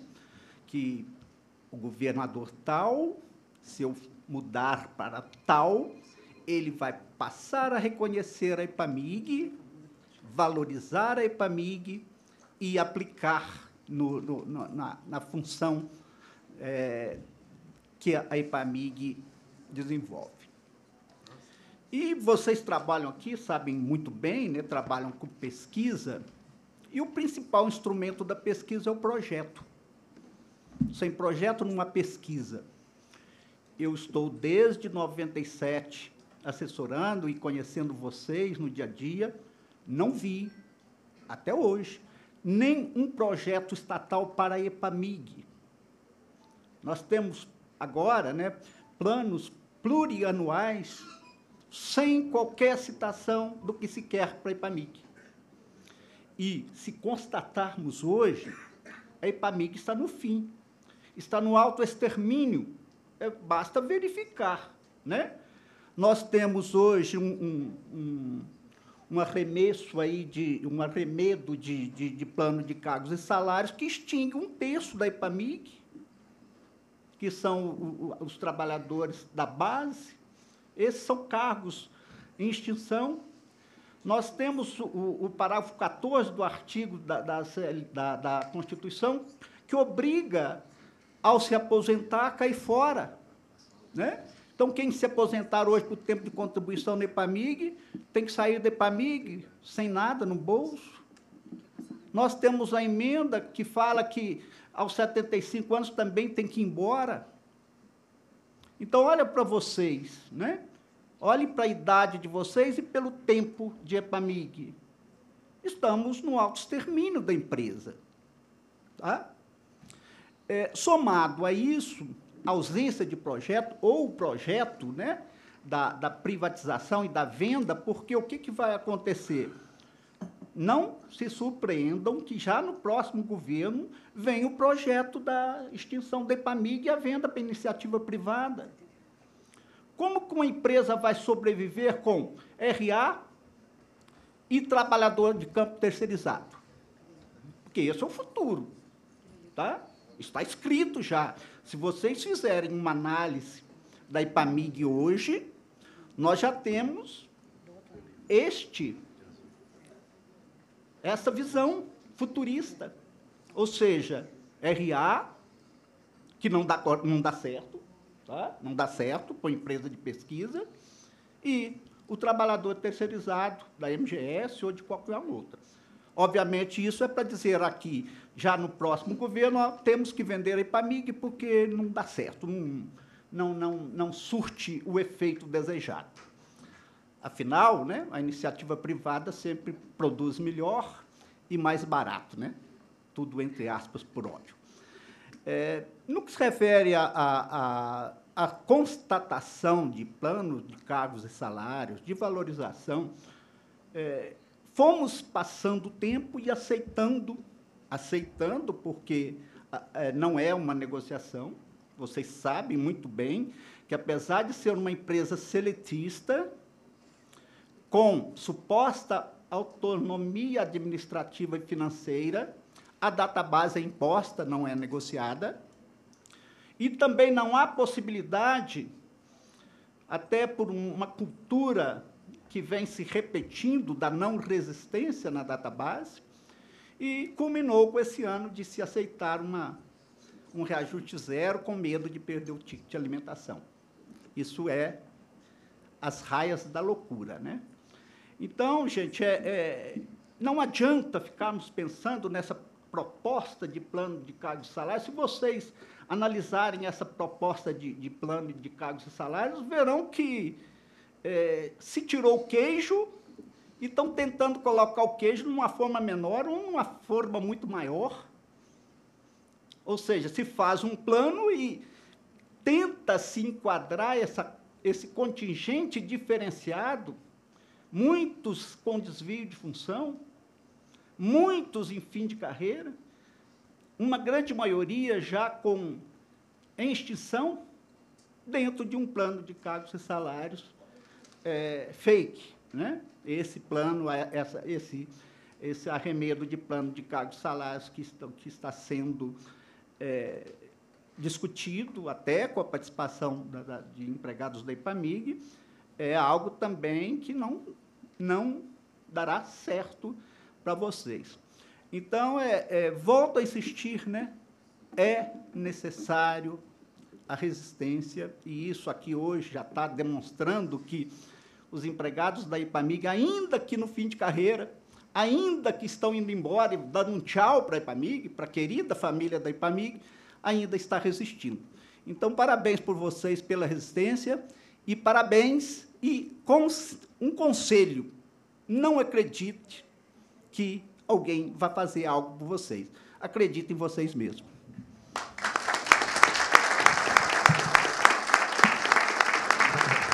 Obrigado, Renato. Vou passar a palavra agora para o senhor Leonardo Brumano Calil, representante aqui da Nilda de Fátima, que é a presidente da empresa, da IPAMIC. Boa tarde a todos. É, primeiramente, agradecer ao deputado Betão pela iniciativa né, de estar promovendo essa audiência aqui em, em prol dos empregados né, e da própria IPAMIG, né, a empresa né, que dispensa comentários, né, vocês mesmos ressaltaram tão bem aqui né, os resultados que ela vem obtendo. É, deputado Betão já é um parceiro nosso, já colocou até emenda aí para nós também, né, para apoiar lá o campo experimental de Leopoldina. Então, é, a gente agradece, deputado, a sua iniciativa. E os demais colegas aqui da mesa, o Cláudio, a Gon, a Cláudia, o João Batista, o Antônio, o Emerson, o Cláudio, o Carlos, né? Mário, o Marley, o Renato, né, que estão aqui representando e colocaram aqui as dificuldades que estão enfrentadas aí pela EPAMIG. É, eu vou me ater aqui às, né, a, qual que é a nossa prerrogativa né, de atuação da diretoria. Porque a gente sabe que a EPAMIG ela é uma empresa dependente do Estado, uma empresa pública, direito privado, é uma empresa, né? então foi criada com o objetivo de ter realmente mais autonomia, mas ao longo dos anos as empresas públicas foram perdendo essa autonomia né? e foram se travando aí nas burocracias né? que já existem na, na, legislação, então a gente não tem assim tanta autonomia, né? E a empresa, então, ela tem o salário, né, porque é repassado pelo governo, e todo o custeio, como vocês ressaltaram aqui, é né, obtido né, da venda do excedente de pesquisas e outras atividades né, que a IPAMIG realiza, que também a gente considera um, né, um assim tem que agradecer o empenho, né, os resultados a empresa tem tido, obviamente que é do trabalho seus, né? A gente não tem nenhuma dúvida disso, né? É, a gente quer ressaltar e parabenizar, né, todos pelo que passamos na pandemia, né, conseguimos virar né? E a nossa empresa tem tido aí, ó, resultado aí, não é nós, são, são fontes idôneas, né? que fazem esse levantamento de, de, de melhores né? do agronegócio. Então, esse resultado aí de exame de Globo Rural é o trabalho de vocês, né? ninguém tem dúvida disso. Né? Mas me chama a atenção né, essa questão do reconhecimento. Eu tive agora na, na Assembleia, né, que representa todo, representantes de todos os estados do Brasil, Assembleia da Asbraer, que é a Associação Brasileira de Assistência Técnica, Extensão Rural e Pesquisa do Brasil. Né? Então, assim, a, as falas são muito parecidas, né? muito homogêneas, né? Esse, a gente precisa analisar esse cenário, a gente precisa ter isso como desafio. Nós também aqui da diretoria né, temos esse desafio, que é mudar, é ter esse reconhecimento da sociedade. Hoje a população é urbana, né? ela precisa reconhecer mais a questão rural. Nós que somos. O Brasil ele, ele, é, ele é competitivo, é no rural. Né? O rural, o agro é que faz a balança comercial. A gente não compete com nenhum país em tecnologia, a gente compete com o agro. Né? E o que está acontecendo em todas as, todas as instituições, a mesma realidade. Nós temos Estado com quatro pesquisadores. Nós temos Goiás com 12 pesquisadores. Né? Então, assim, a realidade é muito ruim. Isso vem acontecendo ao longo dos anos.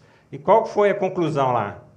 que a gente não está compreendendo isso. O que está acontecendo? Nós somos responsáveis pela agricultura, alimento, o que o Brasil é eficiente, nós só diminuindo. Né? Então, essa foi a conclusão lá. Né? Então, o que tem que se fazer? Né? É isso que vocês estão fazendo aqui. Lá a conclusão foi essa, dos dirigentes dessas estatais e dessas instituições. É movimentar todos para promover o reconhecimento nosso dessas instituições, de pesquisa e de extensão também. Lá estão agora, elas estão juntas lá, a nível nacional. Então, qual que vai ser a ação lá que saiu desse encontro? É fazer um movimento político. Acho que é por aí mesmo. Né? Lá no, no âmbito federal, temos que fazer no estadual, nós temos que buscar esse reconhecimento. Né? Nós que somos da diretoria sofremos muito com a situação que a IPAMIG está também. É. Porque esse sucateamento não foi de quatro anos, não. É. As fazendas estragaram de quatro anos para cá? Não. Né? Então, isso já vem acontecendo ao longo dos anos. É. Por quê? Então, nós temos que buscar essas respostas. Né? Então, vocês podem contar com a, com a diretoria para buscar as respostas e buscar. Então, esse é o nosso papel que nós temos, vimos fazendo aqui desde quando chegamos. Né?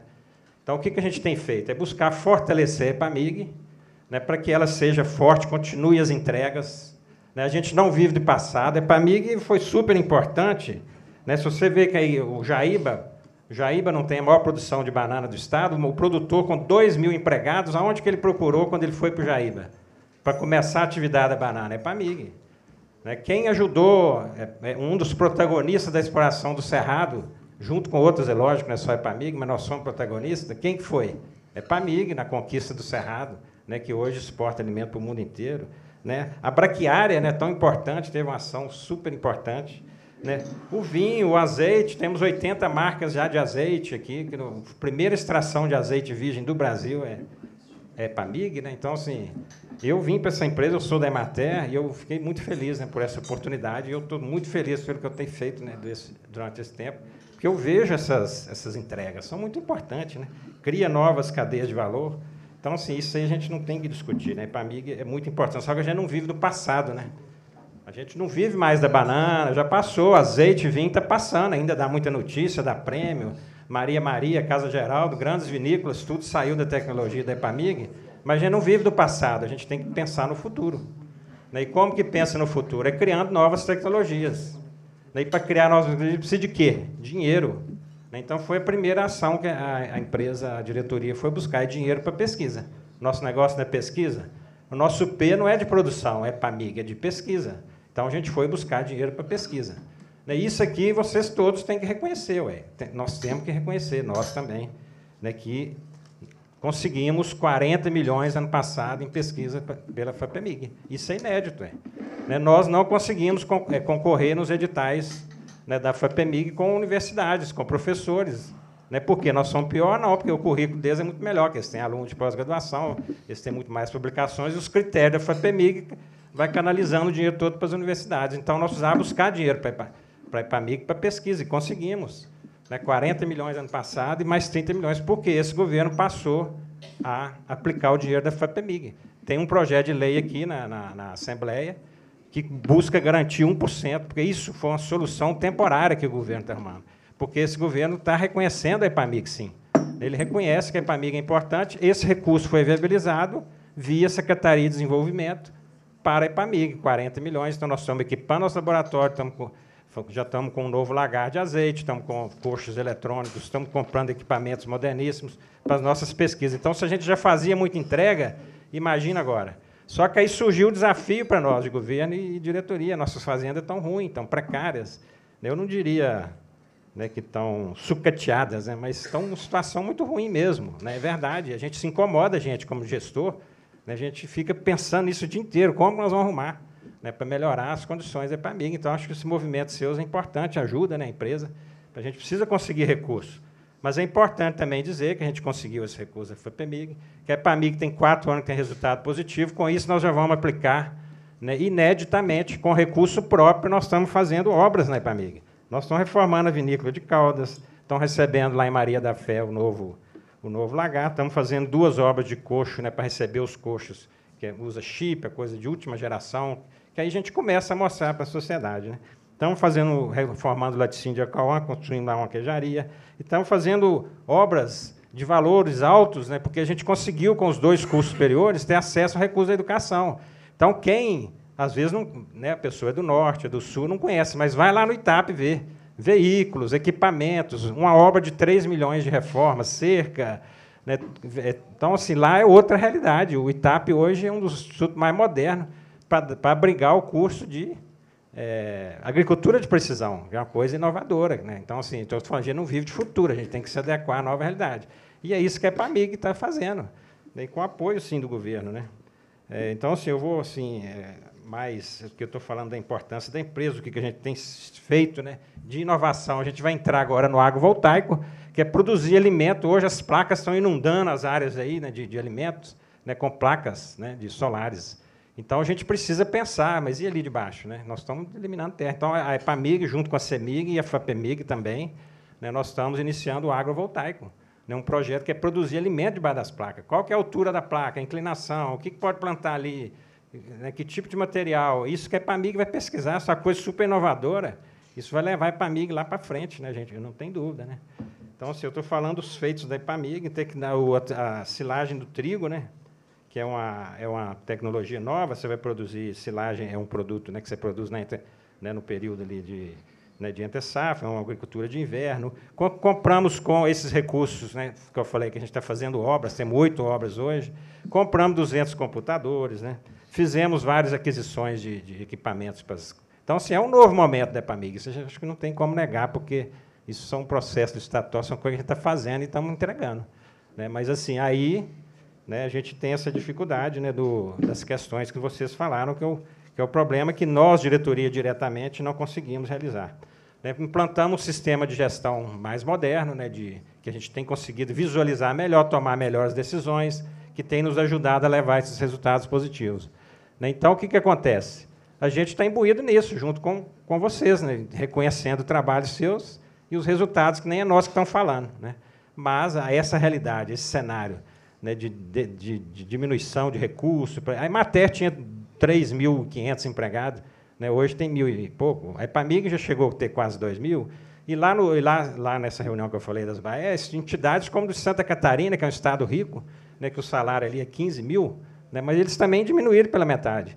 E assim, agora está no momento né, de haver essa, esse momento a gente reagir mesmo. A gente precisa primeiro virar, né, reconhecer, reconhecido, né, para depois também a gente lutar. Agora a gente não consegue isso com esses problemas aqui, né, que vocês falaram aí, né, de questão pode melhorar o ticket, né, melhorar as condições salariais, né, que infelizmente assim não está na alçada da diretoria. A gente faz as primeiras negociações. Aqui eu posso dizer né, que a gente recebe a todo momento né, várias reuniões com o sindicato, em nenhum momento né, a gente né, se, se furtou a reunir, né, a dialogar, mas não, a decisão não está em nossas mãos. Né? O que a gente puder, junto com vocês, né, ajudar, mas a questão do concurso, por exemplo, nós já fizemos dois pedidos no COFIN, que é quem decide. Né, o primeiro foi negado, nós mandamos de novo. Né, mas aí o que, que é a, alegação é essa? É, eu não posso dizer assim, né, vocês falar, ah, a lei de responsabilidade fiscal não é isso, pode sim dar ajuste. Né, nós, a diretoria, não podemos dizer isso, porque o governo fala que não pode, né, porque já está além do limite. Né, então, qualquer aumento né, é do limite prudencial da folha. Então, assim, essa é a alegação né, que a gente acredita que, se, que é verdade, né, porque é o que ele está dizendo, né, que ele não tem condição de fazer esse, esse aumento nesse momento. Né, então, tem que continuar lutando. A questão do, do, do, dos RA é uma solução temporária, porque a gente acredita também que essa situação de estar no limite prudencial um dia tem que acabar. Né?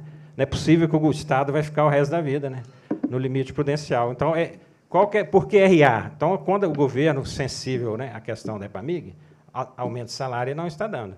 Mas ele está pegando a economia do PDV e disponibilizou os RA. Por quê? A condição não é temporária aí da, da, da condição da, da, né, da situação do limite prudencial, então a solução está sendo temporária de pôr RA. Não é verdade, não é verdade que ele não tem intenção de fazer concurso, né?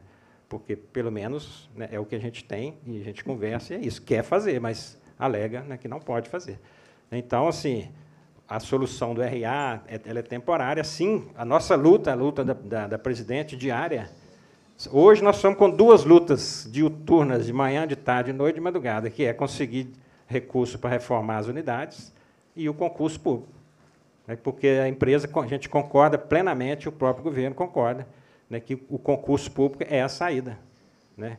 E a gente vai continuar lutando por isso. Porque é o seguinte, não existe empresa privada que faz pesquisa de palma forrageira. Né? Não existe empresa privada que vai fazer pesquisa né, com é, broca do piqui. Né? Não existe que essas, essas pesquisas que resolvem o problema do cidadão é feita por empresa pública. Nenhuma empresa privada ia ficar pesquisando uva só para daqui 20 anos começar. Mas a EPAMIG pesquisou, porque ela é empresa pública. Então, o governo tem consciência de que esse tipo de pesquisa não sai da iniciativa privada e que ela, precisa manter, sim, uma instituição pública de pesquisa. Né? Essa é a ideia. É, obrigado. Então, assim, a gente quer... Não, é, outra pesquisa que eles jamais fariam da uva, do vinho, do azeite, a EPAMIG faz e está fazendo, né, do, do trigo. Agora, depois, a iniciativa privada pode pegar, como foi a soja, o frango, o porco. Né? Mas quem fez as primeiras? Somos nós, a empresa pública. Né, então, assim, o que eu queria, a mensagem era essa, né, dizer que a gente está esforçando. Eu, assim, assim, a gente também sofre muito com a situação, né? Esse negócio de faltar carro, para mim, é uma coisa absurda, né? Mas como que a gente vai fazer? Nós tínhamos 3 milhões, nós optamos, nós precisávamos reformar a Avenida de Caldas, por causa até trabalhista. Precisava de reformar a Maria da Fé para receber o equipamento. A gente teve que priorizar, nós temos pouco dinheiro. Né? Então, está sendo feito um movimento junto com o governo também, para buscar emendas parlamentares, né, para que a gente possa investir nas nossas unidades e aí sim mudar a nossa realidade. Né, e assim a questão que mais aflige, né, que é a questão salarial, né, dos, dos benefícios, realmente assim eu, né, a gente não tem muita autonomia aqui para dizer, né, porque a gente negocia com todo respeito, jamais fazemos tipo de coação né, com os empregados, nada disso, nós diretoria. Né, então a gente faz esse intercâmbio né, com o governo né, mas a decisão é deles, porque a folha é deles e o que nos tem nos repassado né, é a condição né, do limite prudencial, né, que está impedindo de, de, promover essas melhorias. Né. Então, o que eu tinha para falar é isso, agradecer a atenção, estou aqui à disposição para qualquer pergunta mais específica. E o plano de carga e salário, por último, né, ele está sendo discutido, né, a gente já tivemos várias manifestações né, que ele não está sendo né, é, de acordo né, com, né, com os anseios né, dos empregados, mas essa discussão ela está em discussão. Então, acho que ela precisa avançar e melhorar, chegar no meio termo aí, né, que, porque tem os dois lados também, a gente não pode ser né, hipócrita, né? a gente sabe que tem os dois lados. Né? Você tem o lado do benefício, mas tem que olhar o lado da sustentabilidade também, da empresa, etc. Então, assim, tem que ter um, meio, um caminho aí, né, um meio termo, para chegar num, num, bom termo aí, para a gente garantir a sustentabilidade da empresa. A gente, primeiro, não é primeiro, né, a gente tem que pensar na sustentabilidade da empresa para preservar nossos empregos. Eu sou empregado público também, né, sou da Emater de carreira, então eu falo por mim também. Né? Muito obrigado aí a todos.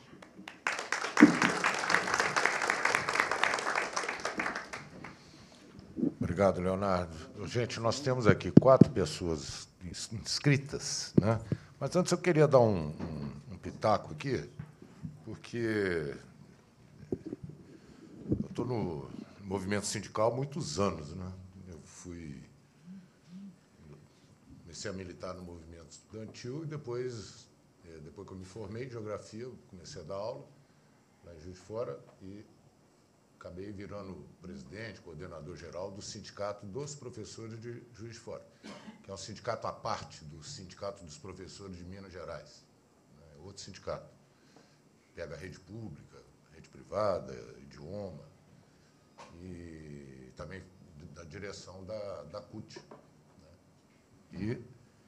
E é, a gente, ainda na década de 90, no Fernando Henrique Cardoso, é que surgiu esse negócio aqui de lei de responsabilidade fiscal, que é uma invenção do FMI, que veio a título de organizar as contas públicas, para não permitir que prefeitos dessem reajustes ou gastassem mais, mas, na verdade, isso aqui é para ferrar trabalhador. E a, isso é no mundo inteiro, em vários países. E tem uma série de interpretações, é verdade. Né? O advogado do Sintap está aqui. Né? Aí tem até aqueles limites, né? 48% disso, aí não pode dar o reajuste. Não, pode dar o reajuste. Se tiver vontade política, ele pode dar o reajuste. Aí chega ah, chegou a 52%. Ao mesmo tempo, a Constituição diz que os servidores têm que ter reajuste anualmente. Então, é uma confusão essa lei de responsabilidade fiscal que ela, que ela traz com essas regras, né, que, no meu entendimento, são regras é, dúbias, e que prejudica o trabalhador. Então, se utiliza desse expediente, dessa lei, para falar que não pode dar reajuste. Quantos anos sem reajuste? Quatro. Quatro anos sem reajuste, por causa da lei de responsabilidade fiscal. Recompo... Não, re... É reajuste salarial. É reajuste salarial, não é ganho real. É reajuste salarial. Recomposição da inflação. É, então, assim, aí vem associado a isso, gente, é só para lembrar, tá, gente? Vem associado a isso o golpe em 2016, reforma trabalhista do Temer, que o golpe vem sucedido de reforma trabalhista, retirada de direitos dos trabalhadores. E põe essa questão da ultratividade com a faca no pescoço dos sindicatos e dos trabalhadores. Né? Então, como você não está conseguindo é, renegociar né, a convenção coletiva, que antes, antes do golpe, se você não renovava a convenção coletiva, você estava em discussão, valia aquilo que estava assinado até então, e eu tocava a vida para frente. Aí mudou. Então, se um sindicato não consegue mobilizar a categoria, por exemplo, né, se é um sindicato que se a categoria é muito espalhada, tem dificuldade, aí eles vêm com a faca no pescoço. Ou você aceita o reajuste zero para ficar com o ticket, ou então te tiro o ticket, ou tiro outras coisas. Ou não renovo nada. Não tem plano de saúde, tem, tem nada. Então, isso está sendo muito utilizado né, no Brasil. É, por isso que a gente tem que exigir do governo Lula que revogue essa reforma trabalhista, porque não faz sentido a gente ficar nessa condição. É, e há uma discussão, nós fizemos recentemente aqui uma com o Marinho, Ministério, ministro do Trabalho, né? Vários sindicatos se apresentaram e apresentaram essa essa reivindicação. Né? É, vamos ver como é que nós vamos, qual é a proposta que está vindo, mas isso é importante porque nós não temos, os sindicatos não têm a mínima condição de conviver com uma lei da, dessa forma, né? como ela está colocada. Então, queria falar isso, passar. Nós temos quatro inscritos aqui, gente, para falar. A primeira é a Andréa Fonseca, pesquisadora da EPAMIG. É, opa. Hein? É. Agora. É. Gente, então eu vou, eu vou, ter que suspender, não tem jeito. Eu, tenho que ir lá. Então está suspensa aqui a audiência, tentar retornar o mais rápido possível. Tá bom, gente? Vocês ficam aí. Pode tomar um lanchinho, vir tomar um café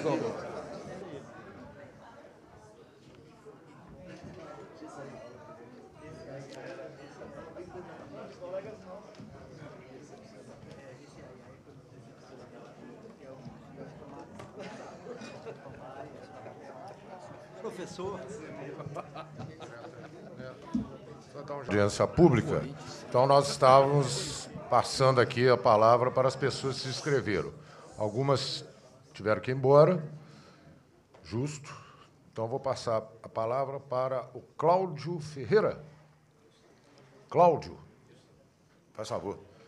O Cláudio, se puder, em três minutos, estendendo no máximo a cinco, pode ser? Não, então você. Não, vai com calma, então. Mas é, para a gente ter um parâmetro aqui. Né? Tá bom. Vamos lá. Senhores deputados, senhoras deputadas.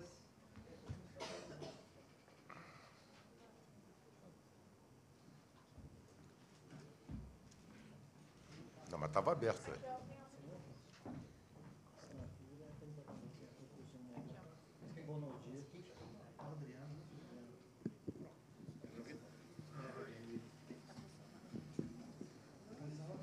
Alô, um, dois, funcionando. Beleza. Funcionando. Senhores deputados, senhoras deputadas, através de vossas senhorias, cumprimento as demais autoridades e colegas da IPAMIG aqui presentes. Falar da IPAMIG, com seus 49 anos nesse momento, é desnecessário, haja vista que todos a conhecem e sabem da sua importância. Hoje estamos aqui para falar dos seus trabalhadores, aqueles que durante vários anos deram parte das suas vidas à empresa. E é por isso que ela chegou ao topo do reconhecimento que, inegavelmente, tem e terá.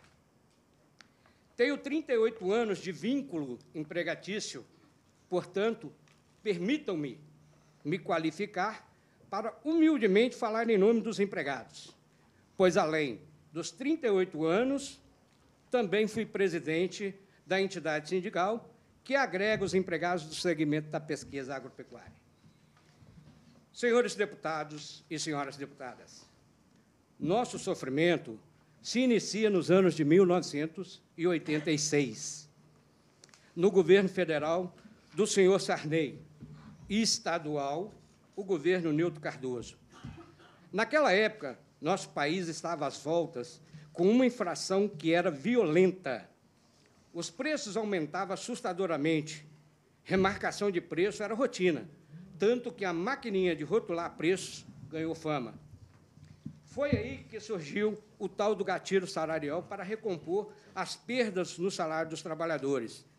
O gatilho salarial era mecanismo pela qual se reajustava automaticamente o salário dos trabalhadores. De início, todas as vezes que a infração atingisse o percentual de 20% ao ano, era disparado o gatilho. Ocorre que, em 1987, o processo infracionário foi tão forte que o gatilho passou a ser disparado nos salários mensalmente. Porém, o governador Nilton Cardoso não reajustou o salário dos trabalhadores no Estado e tampouco o salário dos trabalhadores da IPAMIG, acumulando, à época, sete gatilhos salariais. Imaginem o tamanho da perda salarial à época. A nossa situação foi tão séria que vários trabalhadores passaram por dificuldades financeiras. Vários empregados perderam suas casas, seu carro, sua família. Perdemos vários direitos trabalhistas. Educação, saúde, lazer, nada disso passou a fazer parte de nossas vidas. Mas o pior foi passar necessidade para alimentar nossas famílias. Com a inflação, que era galopante, na parte da manhã os preços eram um, porém à tarde já era outro preço com valores reajustados. Vários empregados não resistiram e foram embora, mas os valentes, os dedicados, mantiveram firmes, pois amavam e amam a EPAMIG. Buscamos nos adaptar, trabalhando de dia e à noite para conseguir pagar as nossas contas.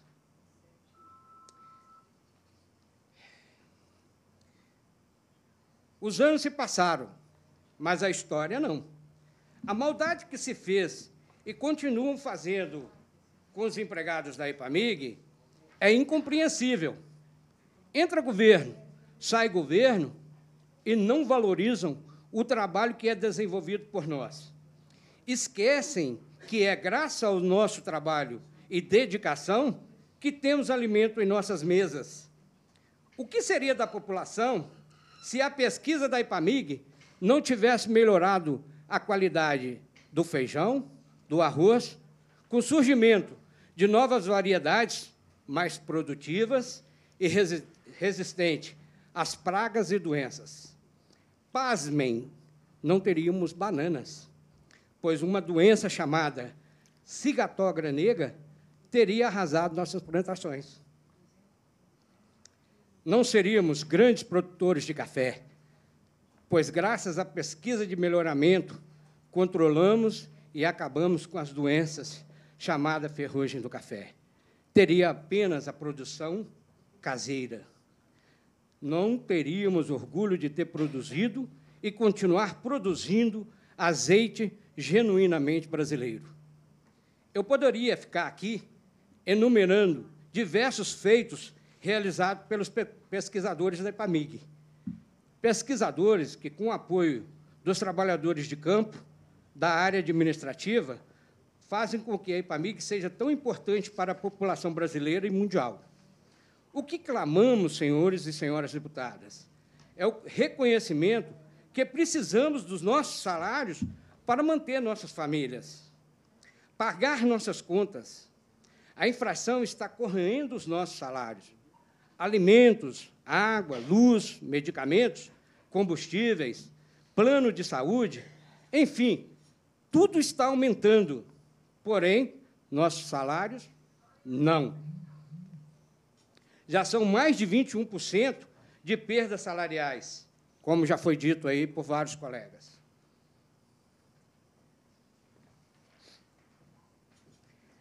Não pedimos reajuste, pedimos recomposição das perdas salarial em razão da inflação.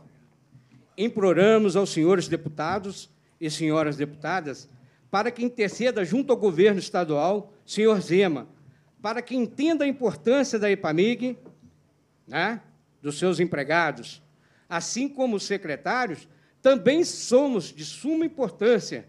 Pesquisadores também são qualificados. Fechar o acordo coletivo 2023 com 0% de correção do salário foi uma grande covardia para com os empregados da IPAMIG. Chamo a atenção de todos. Sem pesquisa agropecuária, os produtores e a população brasileira irá perecer. É preciso que urgentemente seja colocado em prática nosso plano de carreira. É preciso que se faça concurso para repor nossos pesquisadores que foram embora no PDV. Mas ressalto, foram porque o cansaço venceu. A luta para manter a pesquisa foi e é árdua, não se obtém resultado da noite para o dia. É necessário dedicação, esforços, persistência e, principalmente, valorização com salários dignos.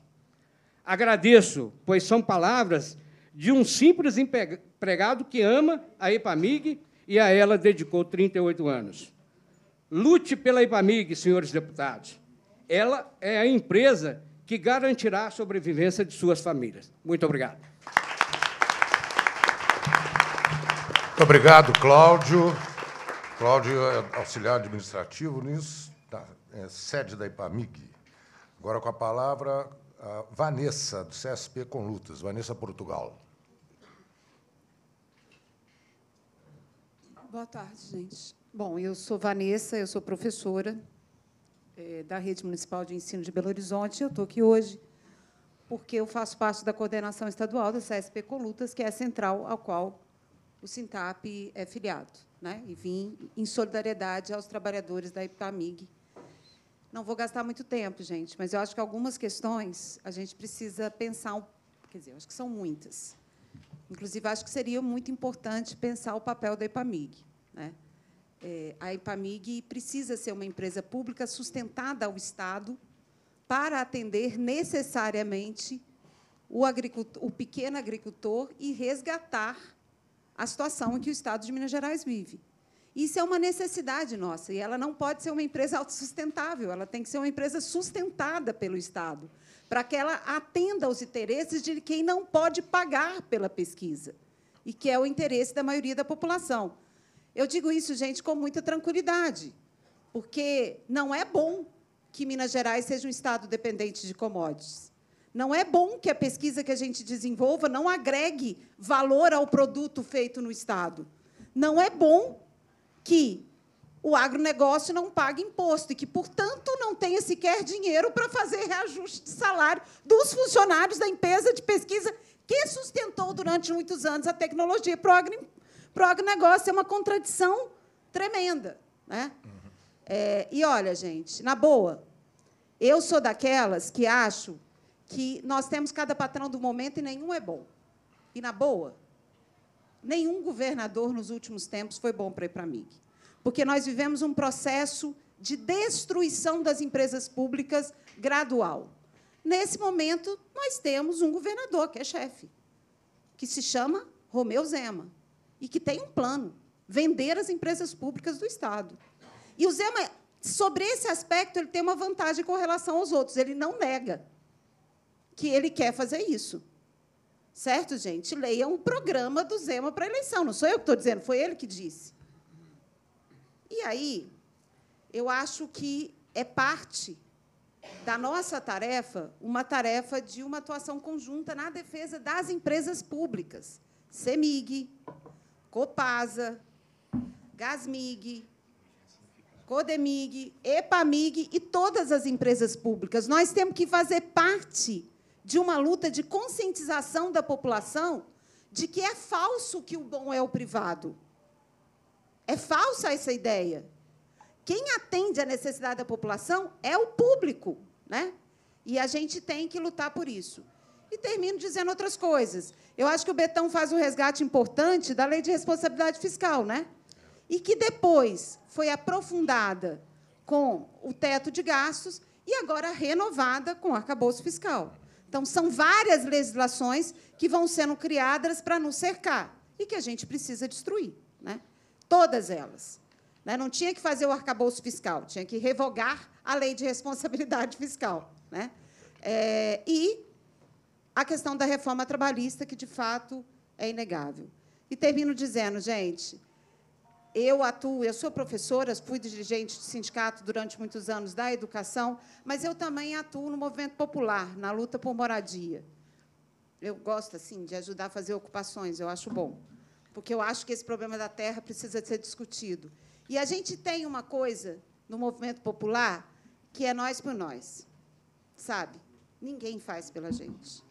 É nós por nós, senão não tem saída. É nós junto por nós mesmos, senão nós estamos ferrados. Não tem governo que vai resolver nosso problema. Só resolve na porrada se a gente se junta para dar bem a porrada. É isso.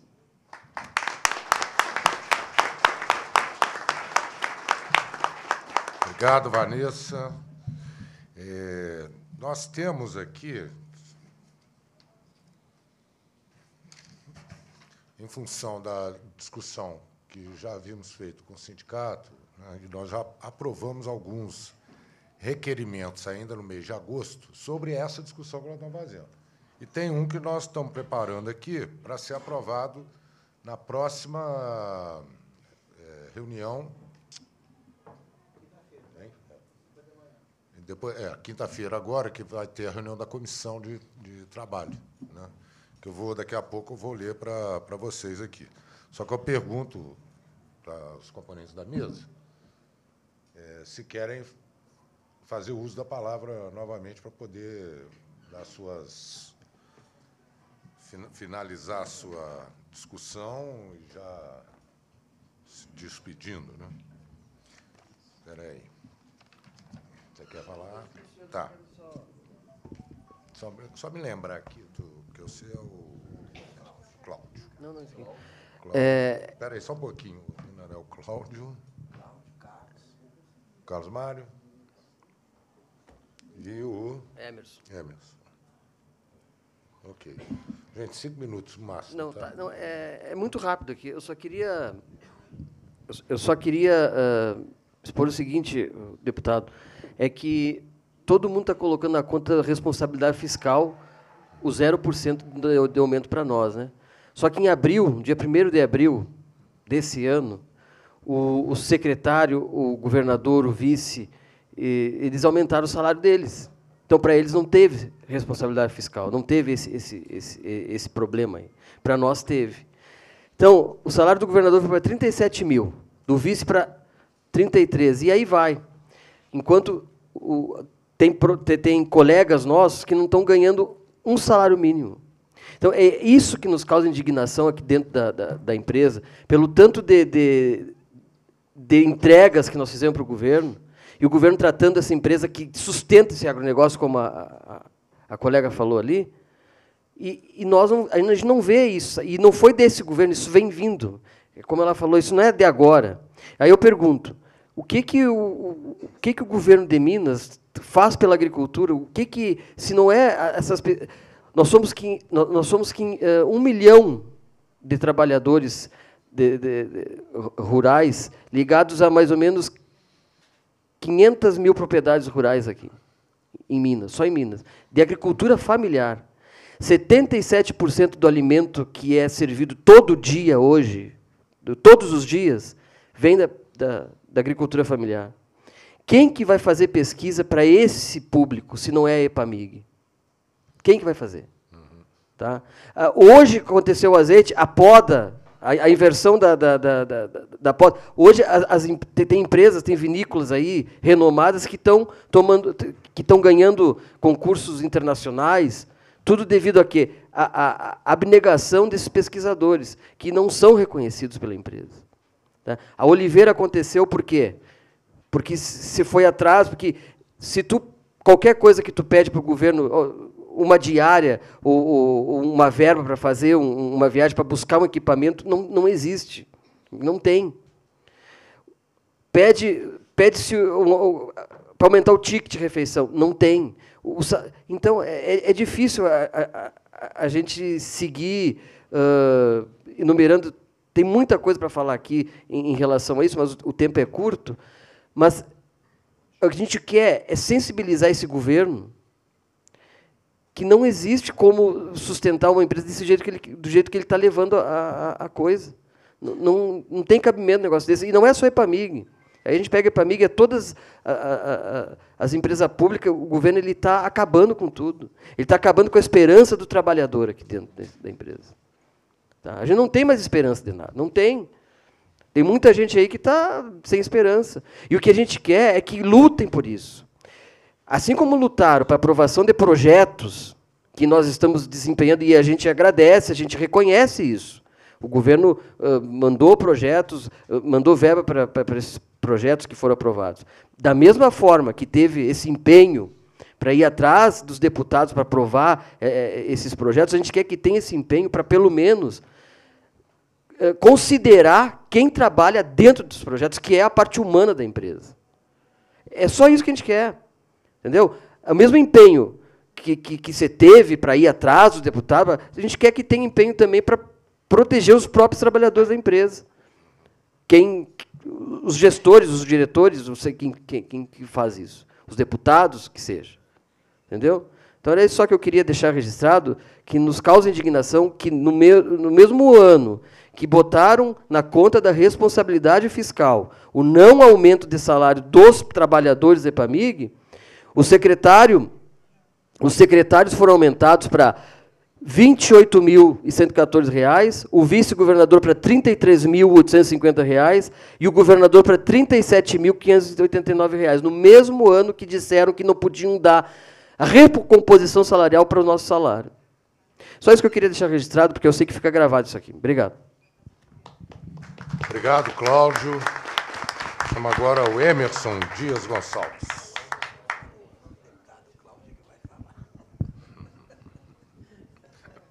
Quem vai falar é o Cláudio agora.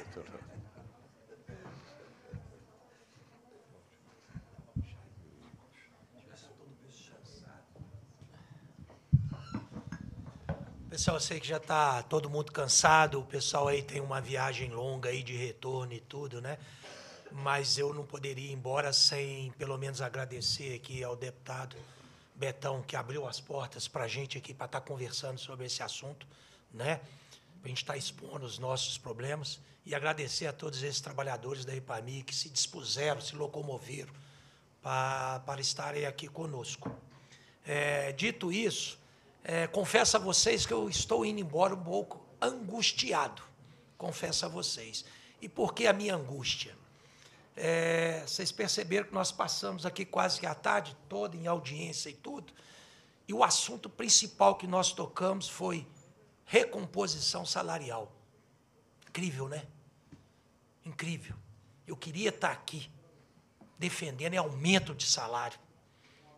Eu queria estar aqui pedindo aumento de salário. Mas não. Estou aqui pedindo recomposição. Ah, é, é humilhante. Confesso a vocês, é humilhante. Eu volto para casa angustiado, feliz, satisfeito pela oportunidade, satisfeito pelos trabalhadores da EPAMIG estarem aqui presentes, mas ao mesmo tempo angustiado. Angustiado. Que o tempo todo nós só falamos de recomposição salarial. Olha que nível que nós estamos. Momento algum nós pedimos aumento. Nós estamos pedindo aumento. Quer dizer, até nisso nós estamos sendo bons com o governo. Até nesse sentido, nós estamos entendendo a dificuldade do governo e estamos sendo bons, por incrível que pareça. Para receber em troca o quê? Então, agradeço a vocês, peço desculpa por qualquer falha nossa aqui e tudo, mas é, fala de alguns aí sem a luta a gente não vai chegar a lugar nenhum. Se não tiver o envolvimento de todos, a gente também não vai caminhar. Não achem que o sindicato vai resolver a vida de vocês, que não vai não. Não achem que a ASP sozinha vai resolver a vida de vocês, que não vai não. Se não houver a união, uma parte disso que vocês estão vendo que aconteceu aqui, não adianta. Tá?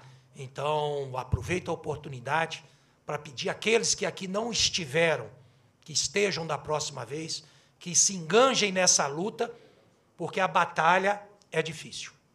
Batalha não é fácil. Tá bom? Mais uma vez, obrigado a todos aí. Meu boa viagem a todos aí, bom retorno a todos. Obrigado, Cláudio. O último a falar agora é o Carlos Mário.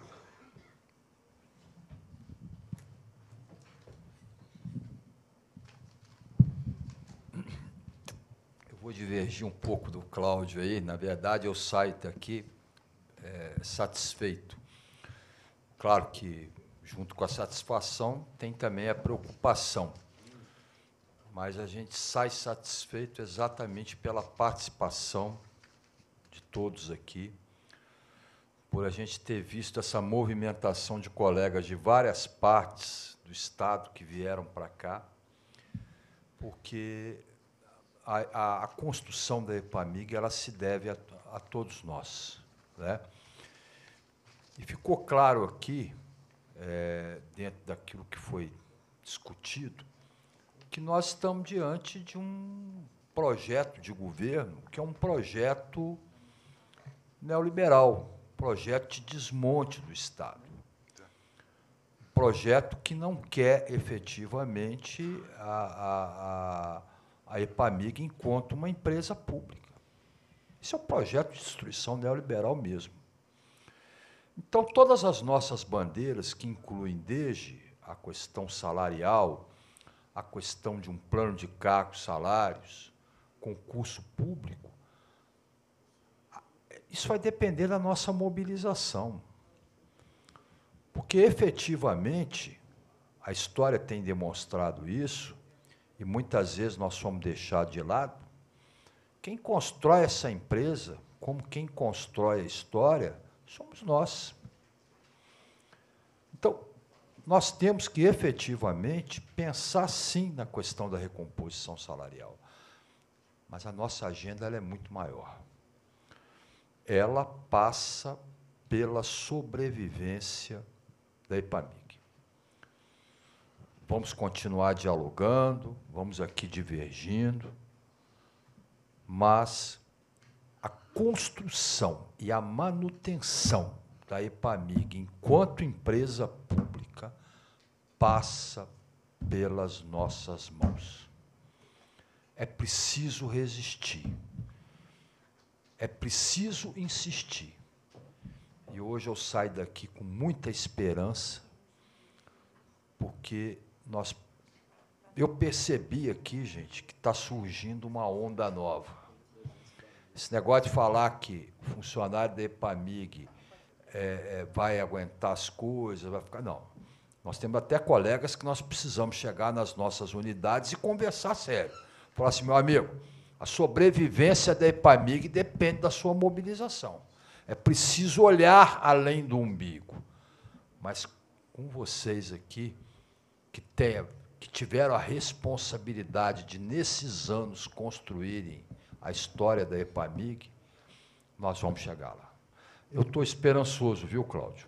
Sai daqui preocupado, mas eu estou esperançoso. E eu queria, por último, fazer um agradecimento todo especial ao deputado Betão, Betão que eu conheço de Juiz de Fora, das lutas em favor dos trabalhadores de ensino, dos movimentos sociais, o Betão que nunca disse é, é, um senão com relação a pedido do, dos trabalhadores da, da EPAMIG, do, do, nosso sindicato, com relação ao encaminhamento das nossas demandas.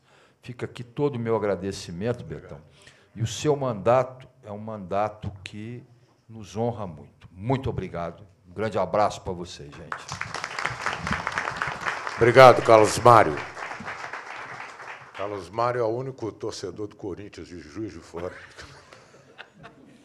Você está enganado, meu caro. Tem a Fiel JF, faz um foguete lá danado. É, gente, eu, que, eu, quero, como eu disse aqui, eu queria ler ah, os requerimentos que nós aprovamos em 21 de agosto, que trata dessa situação aqui. Depois eu dar um, um pitaco final. É, então, tem um requerimento que foi aprovado em comissão, né, foi aprovado na Comissão de Trabalho, está tramitando na casa para chegar até lá no, no governador. É, que seja o requerimento número 3.790, 2023. Eu vou resumir, tá, gente? Que seja encaminhado à secretária de Estado de Planejamento e Gestão pedido de informações sobre a existência de estudos realizados ou em fase de elaboração com vistas a garantir a devida recomposição salarial aos servidores da empresa de pesquisa agropecuária de Minas Gerais, EPAMIG, que, conforme cálculos realizados a partir do Índice Nacional de Preço do Consumidor, NPC, tomando como base o intervalo de 1 dos 5 de 2018 a 1 dos 5 de 2023, o reajuste salarial deveria ser de, no mínimo, 37,75%, mas foi concedido apenas 11,92%, tendo, portanto, uma perda total acumulada de 25,83%. Requerimento 3.791, 2023, seja encaminhado à Secretaria de Estado de Planejamento e Gestão, pedido de providência para que seja instituído um grupo de trabalho com a presença de representantes da Secretaria de Estado de Planejamento, CEPLAG, Comitê de Orçamento e Finanças, COFIN, Empresa de Pesquisa Agropecuária de Minas Gerais, EPAMIG, Sindicato dos Trabalhadores da Empresa de Assessoramento, Pesquisa, Perícias, Informações e Congênero de Minas Gerais, SINTAP, com vistas a elaborar um plano de carreira e salários com previsão de promoção por tempo de serviço e produtividade. O plano de carreira é um mecanismo fundamental para o desenvolvimento profissional e valorização dos servidores, estabelecendo definido um caminho claro e estruturado para o crescimento, beneficiando tanto os funcionários quanto a empresa. O outro requerimento, de 3.792-2023, é, também endereçado à Secretaria de, da, da CEPLAG, pedido de providência para que seja realizado concurso público, de modo a recompor o quadro de funcionários da empresa da EPAMIG. O último concurso público da EPAMIG foi realizado em 2014, de tal modo que cada ano aumenta a necessidade de preenchimento dos cargos vagos. Os trabalhos realizados pela EPAMIG são de extrema importância para o desenvolvimento de Minas Gerais, tendo em vista o peso da agropecuária na composição do PIB. Então, Oi. Só fazer uma pequena correção. Pois não. Na verdade, o último concurso foi em 2005. 2005? Foi 2005, tá. É, é. Hein? É porque... Não, que eu falei 2014. É. Ah, é porque então, então eu entendi errado. Eu pensei que fosse 2014, não. Não, está aqui. Tá, então eu entendi errado. Desculpa, gente. Foi, foi. Você não tem que arrumar. É. Hein? 14 não. mesmo, não foi? Então, por isso que eu, eu, eu tomei a liberdade, tá, Betão, de interromper, peço desculpa. 2004. Então nós temos tem que fazer uma retificação. 2004, em 2005. Isso é importante é, ser colocado, tá, gente? Nós precisamos ter essa precisão tá. dos números aí. É, é uma justificativa. É, é. E, e a que nós estamos produzindo aqui hoje, então, é, essas estão aprovadas aqui, já abarcou a, a discussão que nós fizemos aqui. Né? E a última, que nós vamos aprovar na quinta-feira, é, aí vai ser a diretoria, a diretora presidente da EPAMIG, pedido de informações consubstanciadas em estudos com vista a subsidiar a necessidade de realização de concurso público, cujo objetivo de análise seja o mapeamento das áreas que não contam com devido número de servidores, em razão da vacância das vagas decorrentes da aposentadoria e da evasão de seus funcionários. Além do que, o último concurso público destinado a recompor o quadro de servidores foi realizado em 2004. Aqui está tá correto. Tá? Então, essa aqui fica para a próxima quinta-feira. É, eu queria dizer para vocês, lembrando aqui que aqui, eu tinha falado no início, aqui é uma caixa de ressonância, né, gente? Nós estamos é, fazendo esse debate é, para tentar repercutir isso para todo o Estado. Né? Nós convidamos aqui a Luísa Cardoso Barreta, que é a secretária Barreto, que é a secretária de Estado de Planejamento e Gestão, para poder estar presente aqui nessa, nessa reunião também e responder. Né? O Leonardo veio representando a, a Nilda, é, mas o governo não mandou nenhum representante. Isso é comum na maioria das audiências, quando a gente faz audiência aqui sobre a, os trabalhadores da CEMIG, ou os trabalhadores da Copasa, é, trabalhadores de outros setores da, da, da, do Estado, eles não, normalmente não comparecem, de vez em quando, sabe, mandam um representante. Né? Mas o recado chega até eles, né? ou elas. É, então, nós vamos fazer, de, alguma, de certa forma, conseguir repercutir toda essa discussão. Né? Poderia ser melhor, se a gente tivesse a presença também do maior número de deputados e deputadas, né, para a gente poder fazer levar essa discussão. Mas nós vamos, pelo menos no nosso bloco, né, o Bloco Democracia e Luta, a gente vai tentar é, levar até eles essa situação dos trabalhadores da, da IPAMIG para ajudar nesse processo junto ao, ao Estado. Eu queria informar também que agora, na hora da votação, ali embaixo, nós conseguimos aprovar um projeto de lei de, de minha autoria, é, que trata sobre a, a, publicação da lista suja das empresas né, que se utilizam para trabalho escravo. Né, que é, existe essa lista, só que ela fica presa né, lá no, no, no governo. Né. Então, nós conseguimos aprovar agora, em segundo turno, que tenha que publicizar essa lista, né, porque é, essa questão do trabalho escravo não está sendo só na produção de café ou na produção de cana. Até trabalhadores da CEMIG nós encontramos né, como trabalhadores quarteirizados né, da CEMIG, trabalhando em condições análogas à escravidão, lá perto de Governador Valadares. Então, ela, ela tá, atingiu né, uma, uma gama muito grande de, é, de trabalhadores. Betão. Né? Eu, eu... queria aproveitar essa sua colocação e também levando em conta que as questões aqui que são da EPAMIG, elas também se relacionam a uma situação geral do funcionalismo. Uhum. E aí eu peço para você, e também é, conclamo os colegas aqui também, que divulguem isso também para colegas de outros estados, de outras realidades, porque é importante que a gente passe a, a, a perceber o seguinte: os problemas relacionados a uma empresa como a IPAMI, que tem um papel fundamental aqui, merecem ser compartilhados com quem? Com outros estados e com outras realidades.